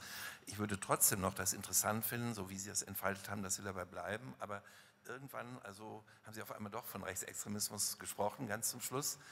und vielleicht diese Überleitung, die wäre sehr wichtig, weil das wird in der Regel nicht getan. Da wird immer gesagt, Populismus, Extremismus und was ist dazwischen. Und das äh, wäre vielleicht eine Anregung. Und das Zweite, was mir aufgefallen ist, ähm, also Sie haben wunderbar auf die schwierigen Fragen von Frau Schumann geantwortet, fand ich. Aber ein Wort will ich einfach einführen in die Debatte, weil das ja auch, glaube ich, von Georg Simmel ist, das, das Wort, ist der Begriff des Streits. Und Streit muss geübt und auch gekonnt werden. Also ich erinnere an den Journalisten, der Frauke Petri erinnert hat, äh, interviewt hat und auch andere Fernsehsendungen, wenige. Also was wir, glaube ich, alle nicht können, ist das richtige, richtig qualifizierte Streiten. Und das muss in Deutschland gelernt werden. Danke. Dann machen wir noch eine zweite Runde. Ja, danke. Das sind ganz wichtige Fragen. Also wenn ich äh, zunächst auf die willkommenen und nicht willkommenen Fremden. Sie haben natürlich recht und so verallgemeinern wollte ich das auch nicht. Also das, natürlich gibt es Fremde, die auch willkommen sind. Das kommt darauf an, eben immer wann, wer, wo, wie und warum kommen sie. Und äh, das ist auch gerade auf Österreich bezogen sehr interessant. Also äh, 56, 68, 81, also die großen Krisen, äh, Ungarn, Tschechoslowakei, Polen. Äh, damals flüchteten Hunderttausende nach Österreich, waren sehr willkommen, weil sie aus kommunistischen Systemen flohen. Äh, und daher hat man ihnen geholfen. Äh, immer Ups und Downs, aber im Prinzip waren sie sehr willkommen, vor allem zum Beispiel 56, es kamen 150.000 Ungarn damals äh, und äh, das war ja relativ bald nach dem Ende des, des Krieges und es war also noch ein armes Land. Äh, und äh, trotzdem, also Leute haben Ungarn bei sich zu Hause aufgenommen. Es war äh, also so, ich meine, ich war damals noch klein, aber ich erinnere mich, dass das also war eigentlich außer Streit. Ja? Wobei natürlich auch noch die Erinnerung an den Zweiten Weltkrieg und das Nie wieder und so weiter. Und es war Kalter Krieg. Äh, das hat eine große Rolle gespielt, ja, also West-Ost und so weiter. Das, äh, was ich dann erlebt habe 1989 war ein, ein totaler Gestalt-Switch. Also 89 Fall des Eisernen Vorhangs. Äh, es kamen Rumänen, Polen, Ungarn, Tschechen nach Österreich und die wollte man gar nicht. Ja? Und die Muster, die rhetorischen Muster waren ganz ähnlich wie jetzt in der Flüchtlingsbewegung. Es gab auch dunkle Männer, das waren halt damals Rumänen, vor denen hatte man auch Angst. Und also es war fast deckungsgleich in den Mustern, außer dass es noch keine muslimischen Flüchtlinge waren, sondern also Migranten, sondern es waren katholische Migranten aus, aus den Ost, ehemaligen Ostblockstaaten. Und insofern ist glaube ich, das schon stark interessensgeleitet, welche Flüchtlinge oder welche Fremden man willkommen heißt oder nicht. Das ist ganz interessant, ich habe mir unlängst die Zahlen über Touristen angeschaut. Also die meisten Fremden, die wir ja alle jetzt erleben, sind Touristen und Touristinnen. Und wenn man sich diese Zahlen anschaut, also wie viele Millionen wöchentliche oder fast täglich in Athen zum Beispiel am Flughafen landen oder in Venedig durchmarschieren ja, oder sonstigen äh, so Tourismusmetropolen, äh, die sind natürlich willkommen bis zu einem gewissen Grad. Jetzt wird es langsam in einigen Städten zu viel, weil sie Geld bringen. Ja. Und äh, also da gibt es viele andere Variablen, die äh, hineinkommen. Es gibt ein wunderbares Buch ähm, über so ein imaginiertes Dorf in England, äh, wo äh, eine Studie gemacht wurde damals, äh, wo sich gezeigt hat, dass Menschen aus dem Nachbardorf in ein anderes Dorf gezogen sind, genau britisch, genauso anglikanisch und alles und waren auch nicht willkommen. Und die sollten auch nicht die eigenen Frauen heiraten, weil man Angst um die Arbeitsplätze hatte. Also es, es, sind einfach sehr viele Faktoren bestimmend, aber generalisieren kann man sicher so nicht. Ähm, die zweite Frage finde ich auch äh, ganz wichtig sind, ist die Mehrheit zu leise. Ne? Ich glaube, es ist weder die Minderheit noch die Mehrheit sind so homogene Gruppen. Äh, also erstens ist die Minderheit gar nicht so klein. Äh, wenn Sie überlegen, dass in Österreich jetzt vor, vor dem Ibiza-Video, also wir rechnen momentan vor und nach Ibiza, ja, das ist eine, eine neue Zeitrechnung, die es jetzt bei uns gibt, aber vor Ibiza war die FPÖ auf 27 Prozent. Ja, das ist fast ein Drittel der Wähler. Und sie war in bestimmten Meinungsumfragen vor der Nationalratswahl 2017 schon an erster Stelle. Ja. Äh, in die Schweizer Volkspartei, die sich jetzt gespalten hat, aber wenn man die zwei zusammennimmt, haben auch über 30 Prozent. In Norwegen sitzen sie an der Regierung. In Ungarn äh, haben sie Mehrheit, ja, in Polen auch. Also das ist nicht eine Minderheit. Ja. Es ist in manchen Ländern eine Minderheit, äh, hier in Schweden, in Spanien, noch ganz wenig. Äh, und dann manchmal sind sie eine Minderheit, weil die äh, Mehrheitsparteien das Programm übernommen haben, so wie in England, ja, wo die Tories letztlich das Programm von UKIP übernommen haben und viele UKIP zu den Tories gegangen sind. Also es ist sehr unterschiedlich. Und äh, dass die Mehrheit zu wenig laut ist, das glaube ich absolut. Also ich meine, gerade die Mehrheitsparteien oder die Mainstream-Parteien aus der Angst, Wähler zu verlieren, eben dieses Recht zu überholen. Das ist in Österreich ganz stark sowohl von der Sozialdemokratie wie auch von der konservativen Partei gemacht worden, keine Kanten gezeigt haben. Und das war die völlig falsche Strategie, weil sie haben Wähler sowohl nach rechts verloren wie Wähler links verloren. Ja? weil für die einen sie, haben sie dann die Kanten verloren und waren nicht profiliert genug und für die anderen waren sie sozusagen nicht glaubwürdig genug. Da waren die ganz Rechten glaubwürdiger. Also da denke ich, sind Fehler passiert und äh, was ich auch genannt habe, also dieses Beispiel, dass die Republikanische Partei letztlich Trump ermöglicht, ermöglicht hat und ermöglicht.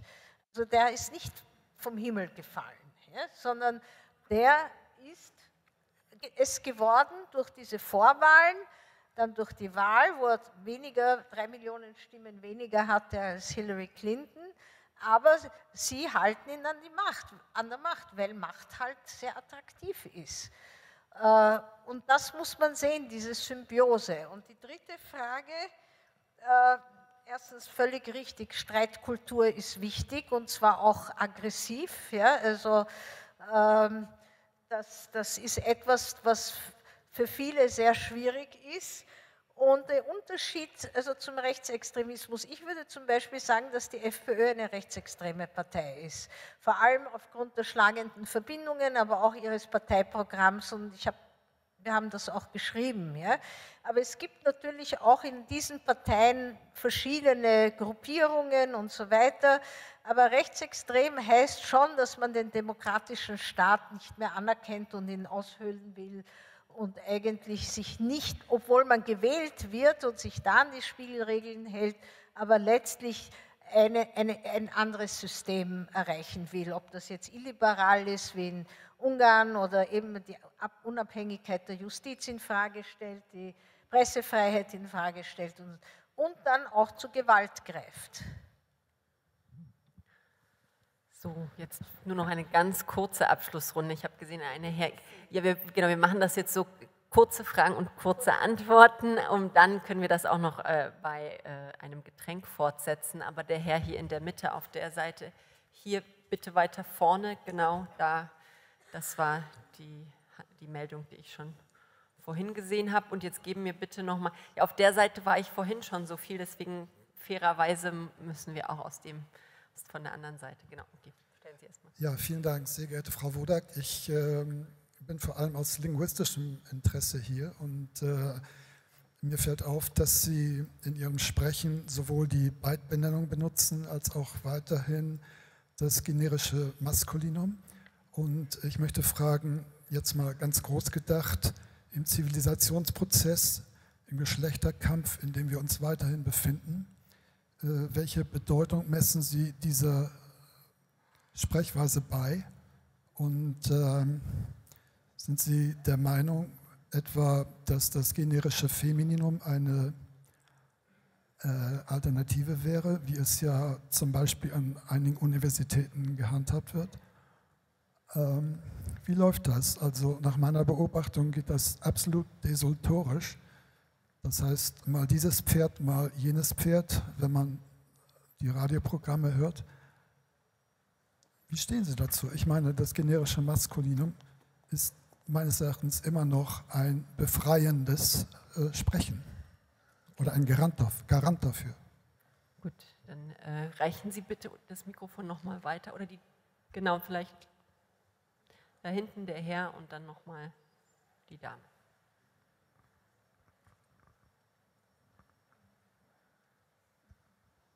Ja, äh, grüße Frau Wodak, vielen Dank.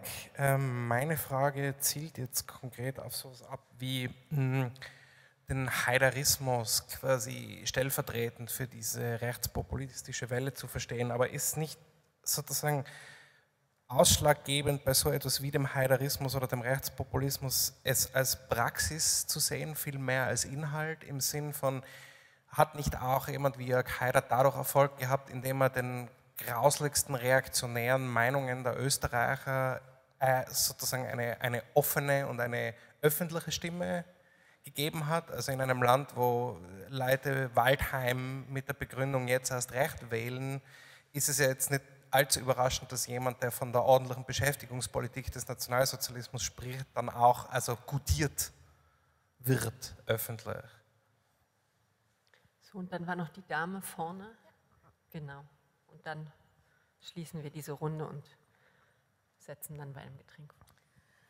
Ja, ich habe noch mal eine Nachfrage zu dem Begriff des Rechtspopulismus. Sie haben sich ja da auf eine Definition von Anna Krasteva berufen.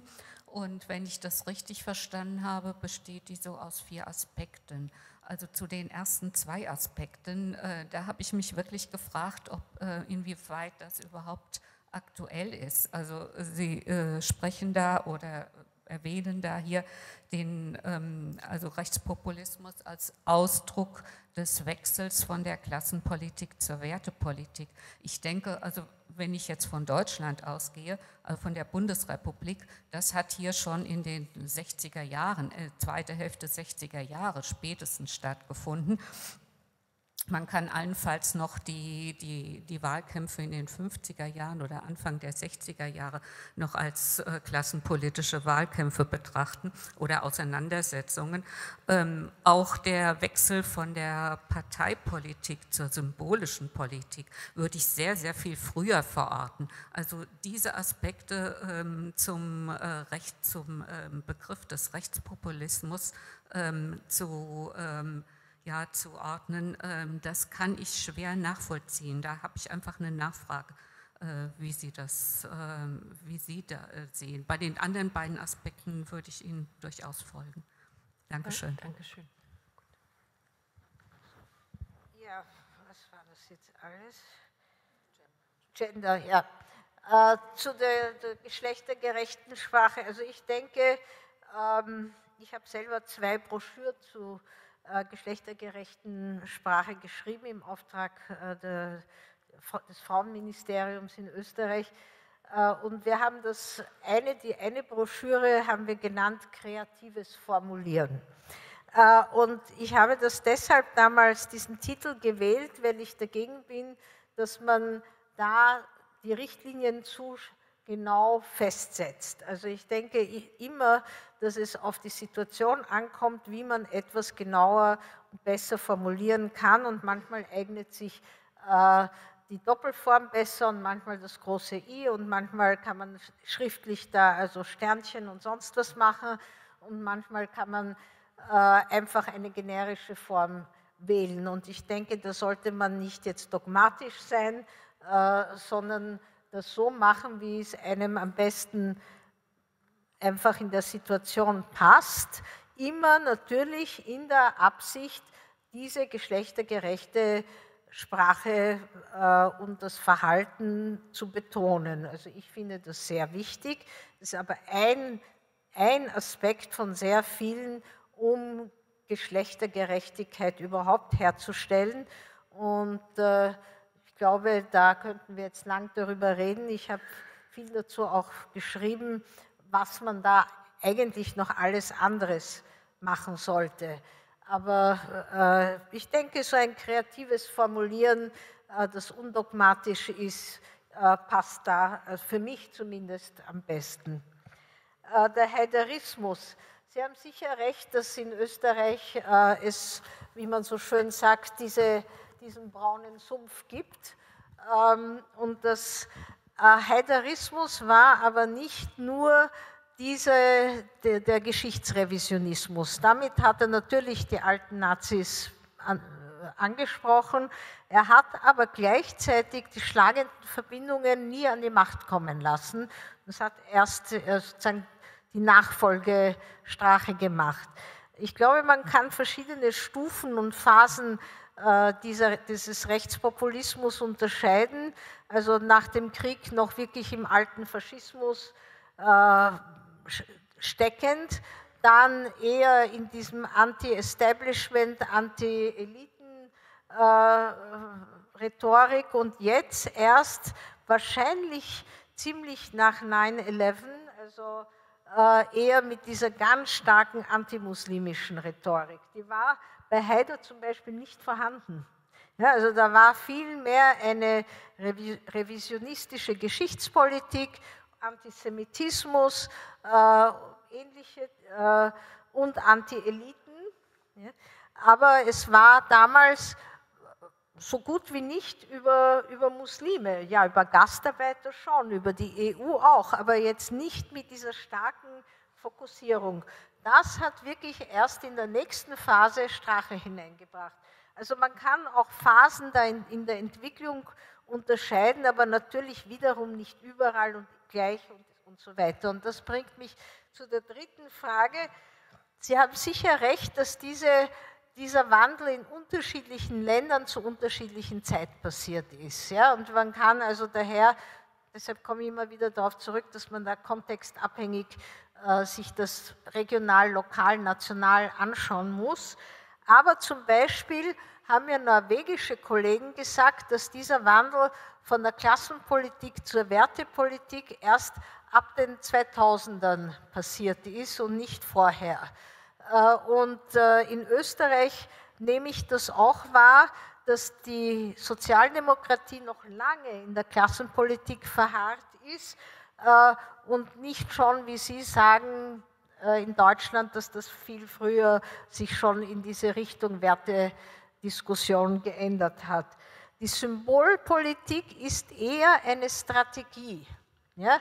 Also die dient ja als Ablenkung von anderen Maßnahmen und ich denke, das wird jetzt gehäuft verwendet und eben immer wieder mit bestimmten Feindbildern. Äh, wieder österreichisches Beispiel, immer wenn es unangenehme Maßnahmen gibt, kommt die Kopftuchdebatte. Äh, das ist vorhersagbar mit hundertprozentiger oder 99,9 Prozent Wahrscheinlichkeit. Äh, ob jetzt für Kindergartenkinder oder ich weiß nicht, für wen Kopftuch kommt. Und da gibt es einen schönen englischen Begriff dafür, der heißt Dead Cat Strategy. Also wenn immer eine Diskussion unangenehm ist, dann wirft man eine tote Katze auf den Tisch und alle schauen auf diese tote Katze ja, und äh, das andere wird vergessen. Und in der Inszenierung von Politik, die wir jetzt erleben, auch viel gehäufter, sind diese symbolischen äh, Politiken viel stärker geworden. Es ist keine Frage, dass es das alles schon früher gab, ja? außer die Online-Medien, die gab es einfach nicht. Aber das, das ist in vielen Punkten nichts Neues. Ja? Das habe ich ja auch immer wieder betont. Äh, weder der Sündenbock-Strategie noch die Politik mit der Angst ist was Neues, ja? sondern die Art und Weise, wie es jetzt massiv und mit den Medien betrieben wird im Rahmen pluralistischer Demokratien, das ist, denke ich, eine wirkliche Veränderung in, unserer, in, in den Orientierungen, die wir bisher hatten. Naja, und genauer kann man das alles dann noch in Ihrem Buch nachlesen, Politik der Angst, das hier vorne zu erwerben ist. Und äh, Ruth Wodak hat sich bereit erklärt, da auch äh, ein, Ihnen das zu signieren, wenn Sie das äh, gerne möchten. Und ich denke, unser Gespräch können wir dann jetzt auch noch bei einem Getränk fortsetzen. Ganz, ganz herzlichen Dank, Ruth Wodak, für Ihren spannenden Vortrag, dass Sie zu uns gekommen sind und mit uns diskutiert haben.